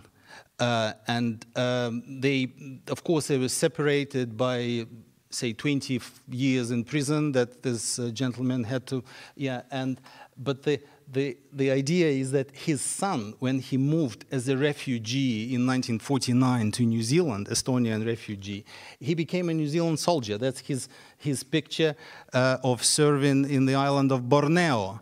Uh, and uh, yeah, he's now in good health, uh, but very uh, respectable age, and so on. So, and of course, the final one is Elagu. We all say Elagu Eesti, long live Estonia. But uh, Elagu was also Elagu Sur October, which is uh, even unnecessary to translate. And uh, at the same time, let's uh, get rid of Bolsheviks. Yes, this is this is at the time when Estonia was uh, occupied by the Third Reich. So um, uh, uh, this is uh, the very final slide because we talked a lot about Konstantin Päts and the way he was the president and for, for quite some time, the way how he was trying to save his country didn't work. Uh, but what is really important that he died in Russia at a mental hospital, being already very, very sick and tortured. Um, and, um, and there is a sign, Estonian presidential sign of office, that uh, when, when the Bolsheviks were capturing Konstantin Päts, they captured already the sign, this chain sign. Um, the current president, Kersti Kaljulaid, has, uh, she has got this sign on her, but this is not the original one. The original one is still held uh, by the Kremlin. This is probably the very, very last conflict uh, on, um, on the past that uh, Estonia is uh, battling through, but hopefully, at least, we will get the chain back one day. Estonian emotional landscape, I would say, which uh, seem to have some similarities with the Latvian one. Yeah, at least when it comes to songs. Yeah, also you may. Something. I think what is important that during Soviet times, when the song festivals were allowed, it was also important uh, place of resistance because the national identity was held up by uh, singing songs, and not all of them were Soviet songs or contemporary songs. And now we give some time to Ville. Thank you. I will uh, comment on a few things that have I've been thinking when listening to to all of your uh, contributions. First of all, uh, as you mentioned, Vlad, the the Nordic connection of Estonians that has kind of been there and lingering there and and Estonia and Finland obviously have a cultural, linguistic connection. And when you think about the international influences in, in Finnish identities inter, in the interwar period, the the Soome Sild, is it Silta, Sild, the bridge of Estonia and Finland was important, but obviously that was cut uh, in, in, the Soviet period in, in many ways. And when you think about Finland uh, in the context of, of these other countries here, the Scandinavian connection of Finland has obviously been, been very important because although like in the Baltic states and, and in Poland, the true kind of seeds for, for nationalism that could lead to independence were, were um, achieved during the, the Ru Russian period. Fin the Finnish civil society obviously had a lot of tradition to the Swedish Swedish times and in, in legislation as well. And I think that did play some sort of a role um, when Finland did not uh, succumb to authoritarianism, even though it, it was challenged.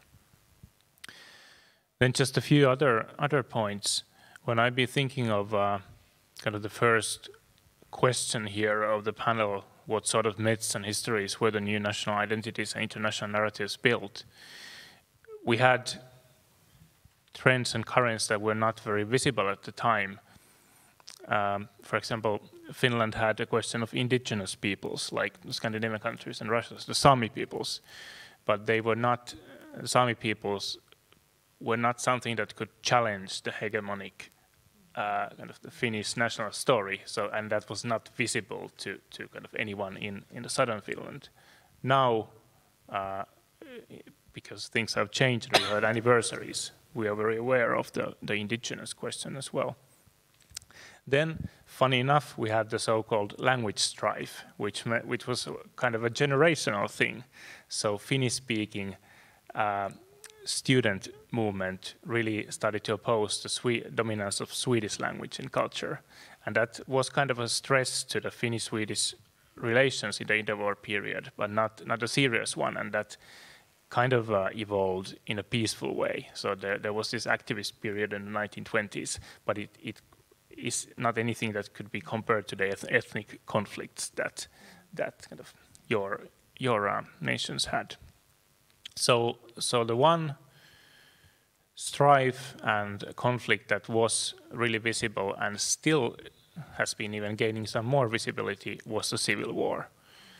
And as we, as we think about the narrative that has been dominant was, was kind of narrative, so narrative of the victors, the whites, uh, and that dominated the interwar period. And because uh, the Social Democratic Party was the party that uh, kind of revolted and then lost, and the radical elements became effectively communists and, and were banned in Finland and operated from, from Soviet Russia and, and the Soviet Union and, and only underground in Finland, the defining narrative, the red narrative in Finland was one of victims. Uh, and what was shared there was that the revol revolution was a mistake, but it was kind of the narrative of the victims and the ones who kind of uh, thought that there should have been a revo the revolution was uh, righteous and and maybe we should try it again. They were basically exile or underground and a very small minority. And then in the 1960s, when things changed, uh, the narrative of the victims became kind of a dominant. And now we see that this kind of narrative of the victims is being challenged even by more conservative colleagues of mine.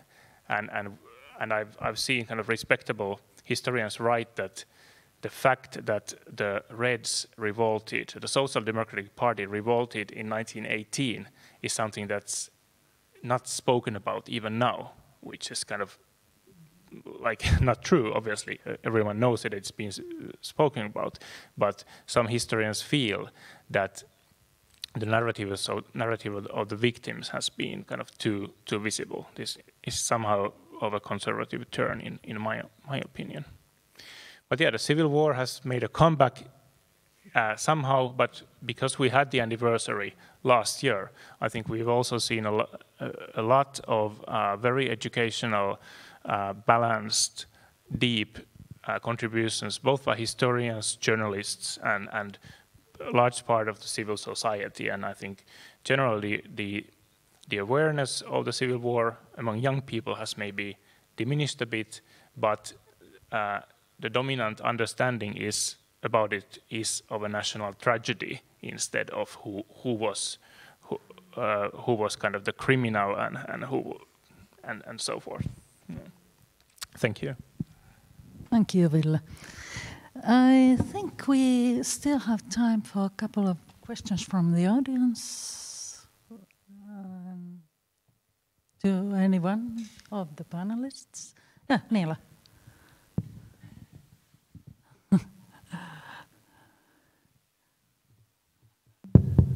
Yes, uh, I must point out this thing that I realized again when when Vlad uh, told us about the flag issue that there was even a proposition of having this cross also in Estonia.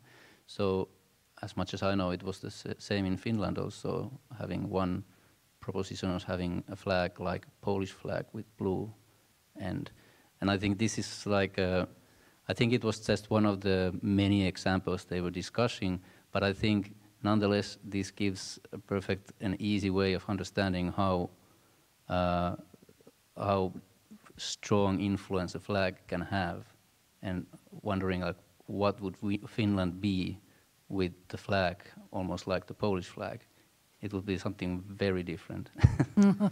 but just just as an example how strong symbols are. Can I comment? Yeah. Yeah. It's important to remember that after the Second World War, Finnish identity has been very much linked, also in popular understanding and in public image making, to Scandinavia, to, Nord to Nordic countries. In the interwar period, uh, the link to Sweden and, and Scandinavia was obviously important, but it, it was kind of one element among links to uh, Estonia. It's kind of a, a period of, of links to other it's kind of border states and strong links to Germany, which was uh, something that was very much um, a project of, of the elites and, and had real basis in terms of education coming from Germany. Um, obviously, um, Estonia and Latvia have the Baltic German tradition, uh, which which is more uh, all-encompassing. But but in Finland we have this. But really, the turn of Finnish identification to to Scandinavia and the Nordic countries started from the 1950s, basically, in, in effect. And now it's something that probably, if you know something about Finland and relate it to some larger entity, it's it's dominantly Nordic. Nordic. Oh, but in the case of Estonia, for example, when it comes to the Soomepoisid, uh, this is this is some kind of alaverdi, taking the good thing back to you. Uh, it's in, incredible uh, uh, appreciation that Estonian Republic had uh, to the Finns because the Finns helped to uh, Estonia to gain independence in the first uh, in the first instance. And this is this is that's why I mean in this first slide um, um, it was about yeah three and a half thousand people, uh, and uh, and the uh, and Mannerheim was very glad to sign up for this regiment. Uh, and in the Estonian uh, in the Estonian history, they really entered the ranks as these the Soomepoisid, not not our boys or anything, but the Finnish boys. So the, the boys who went to fight for Finland, because this is again with this flag that we are too. We can help you too, as much as you helped uh, uh, us then, and and that's uh, that's important. Also, this connection is is is just outstanding. It's still it's still alive. And there's a question from the audience. Yeah, um, hi.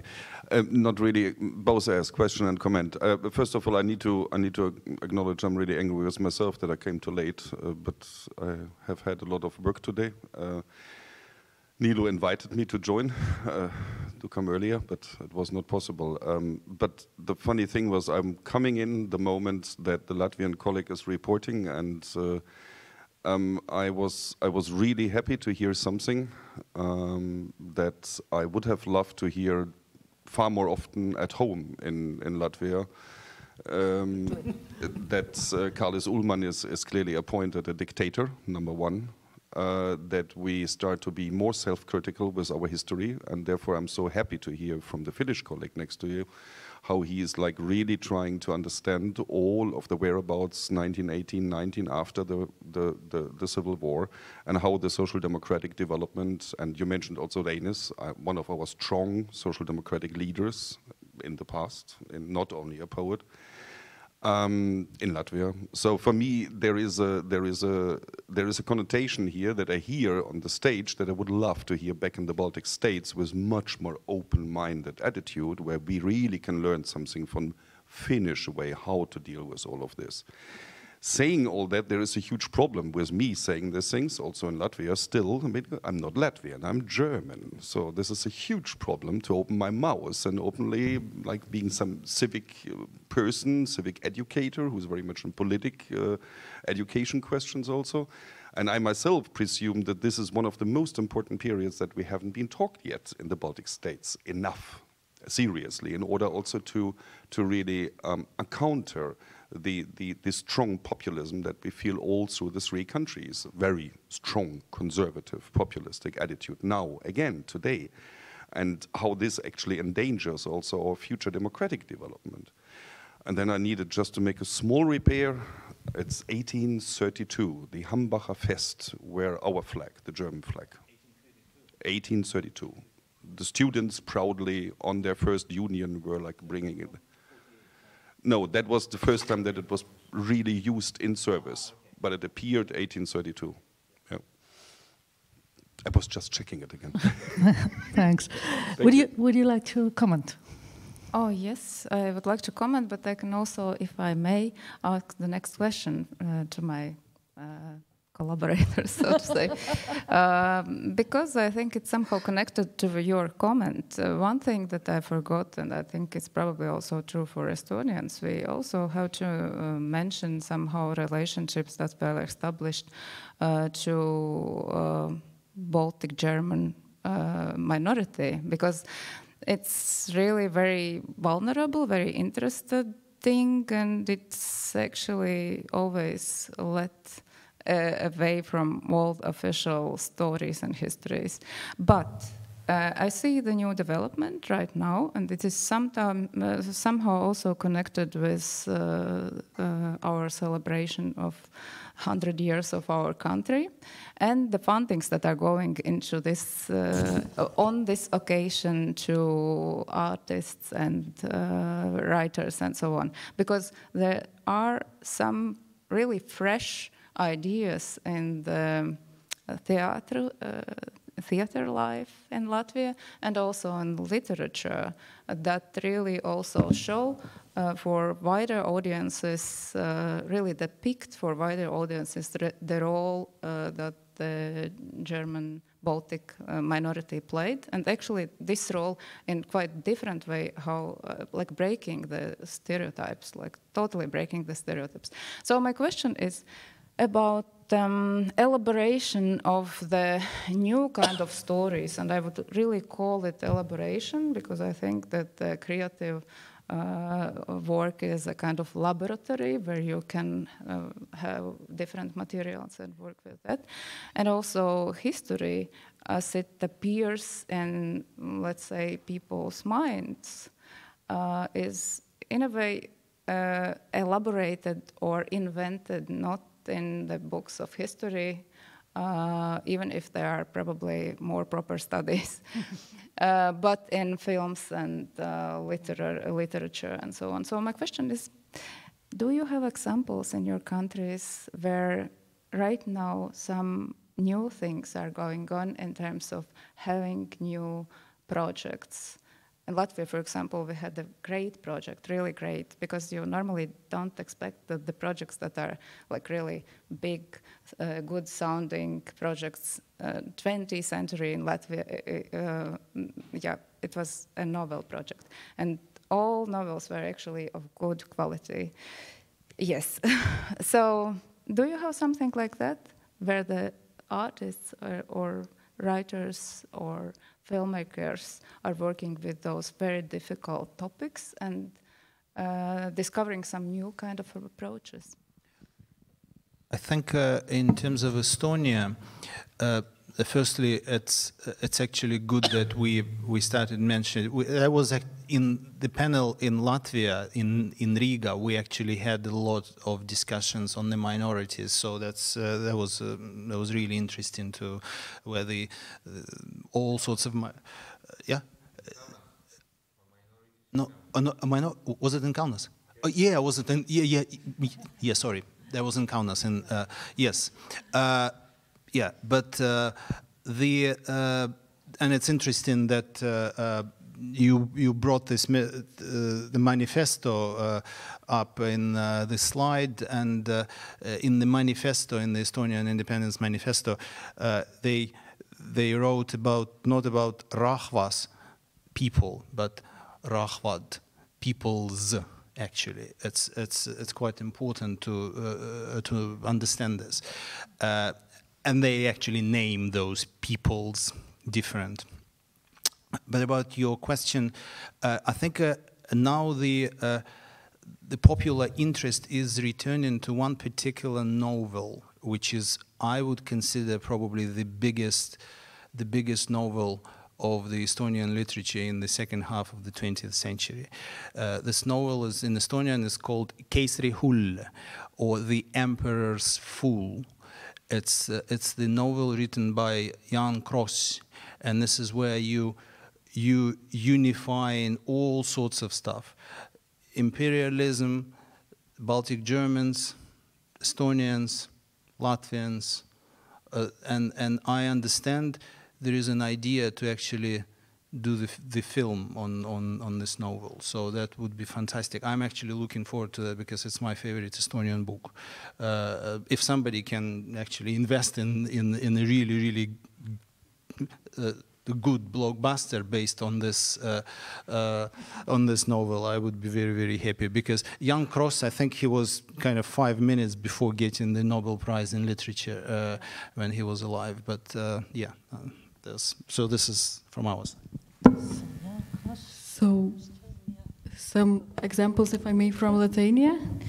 Uh, one what comes in my mind is uh, connected to new independent Lithuania's meaning since 1990s approach to this uh, Polish uh, Polish perspective I was talking about, and I think it really shifted uh, during the Soviet times because maybe we had already the the, the same enemy, the Soviet Union, I mean Lithuania and Poland and the communism. So somehow, uh, not really this uh, um, perspective of enemy is existing now, uh, but I would say that uh, Poland is treated as like at least in the public discourse more as Lithuania's ally and and international politics too and one of these kind of initiatives is the film festival taking place in Vilnius it's Polish cinema festival uh, another initiative is Warriors Art projects because Holocaust is now really hot topic and awareness comes that people from Lithuania really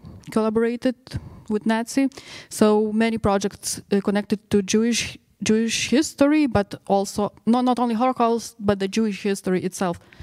So that's maybe two. And the third one would be youth project called Mission Siberia, where uh, young people travel to the territories of deportations and gulags collect uh, some stories and come back and and it, there is also a visual part of it because there is a movie documentary but also they go to schools and talk about these issues Thank you. And then I guess Ville and Iwona will conclude. Thank you. Um, no particular kind of national project with artists or so comes to my mind. Might be that someone else can can think of something. Uh, but let, let me just comment at what I think that is needed, uh, which is a challenge for small, kind of comparably homoge- culturally homogeneous nations, not only Finland, is to kind of update the symbolism of Finnishness to the 20, 21st century. Uh, to understand that there is something that is shared as Finnish, and, and it should be linked to the social kind of we are a society that that is well generally and, and treasures it. But it is multilingual multi-ethnic and so forth but still something that that we can relate to and that can bring us together because otherwise people really start to define it by who is not not part of that. So so these are the projects that we need There's a comment first. yeah sure. Uh, first from I'm not sure uh, uh, this is uh, what was seeked, but in this context, um, I'm afraid we cannot avoid mentioning that The Unknown Soldier, the movie, was remade again this decade. Maybe, maybe you can comment it further. Okay. And Iwona. And this will be our But I still wanted to answer the question about yeah. Um, so I think in Poland right now, unfortunately, we have two parallel words, mm, and this is in politics, but also in culture. And these two parallel words um, are shifting um, away from each other stronger and stronger to the point that it's not that we only don't know what the other side is, we don't want to read the books that the other side is producing, but we hate them so much that we, we don't even want to think that they exist. So, what is the, the parallel words? I, I showed you the three uh, narratives. Now we have two dominant because, as I said, the left wing is well, mm, it's it's existing, but um, it's it's much weaker. But the the two main ones is the sort of nationalistic narrative. So right now the tendency and what's on the rise is Poland is great, and. Um, so the literary projects or the films are showing the greatness um, of the Polish nation, and this goes with the Holocaust question. We already had a debate that we also maybe contributed, uh, maybe not to the Holocaust, but maybe we also have sins on our in our history. Right now, the tendency is to reject it. So to show Poles as the saviors of the Jews and um, victims of the now, uh, as the word is stressed, Germans, not necessarily Nazi uh, regime, but the Germans. And the second, uh, the parallel word is the liberal um, sort of um, uh, word, where um, of course people are still writing and producing films, but this word is moving out from the official rhetorics. So it's in a direct conflict with the Ministry of Culture. Um, the, with this comes cut funding uh, for festivals, for um, film productions. Um, this is being moved to the to YouTube and uh, this is being moved to um, public collections for, for work. So it does exist. It's still strong because it's still the impetus of the uh, of the rebellion. We don't want to agree to to certain changes. But the question is, after the elections, what will happen in four years? Yes, might be this this parallel world might be in regress in the future. We'll see. Okay, thank you our panelists. We are just warming up, but time is ending. Thanks.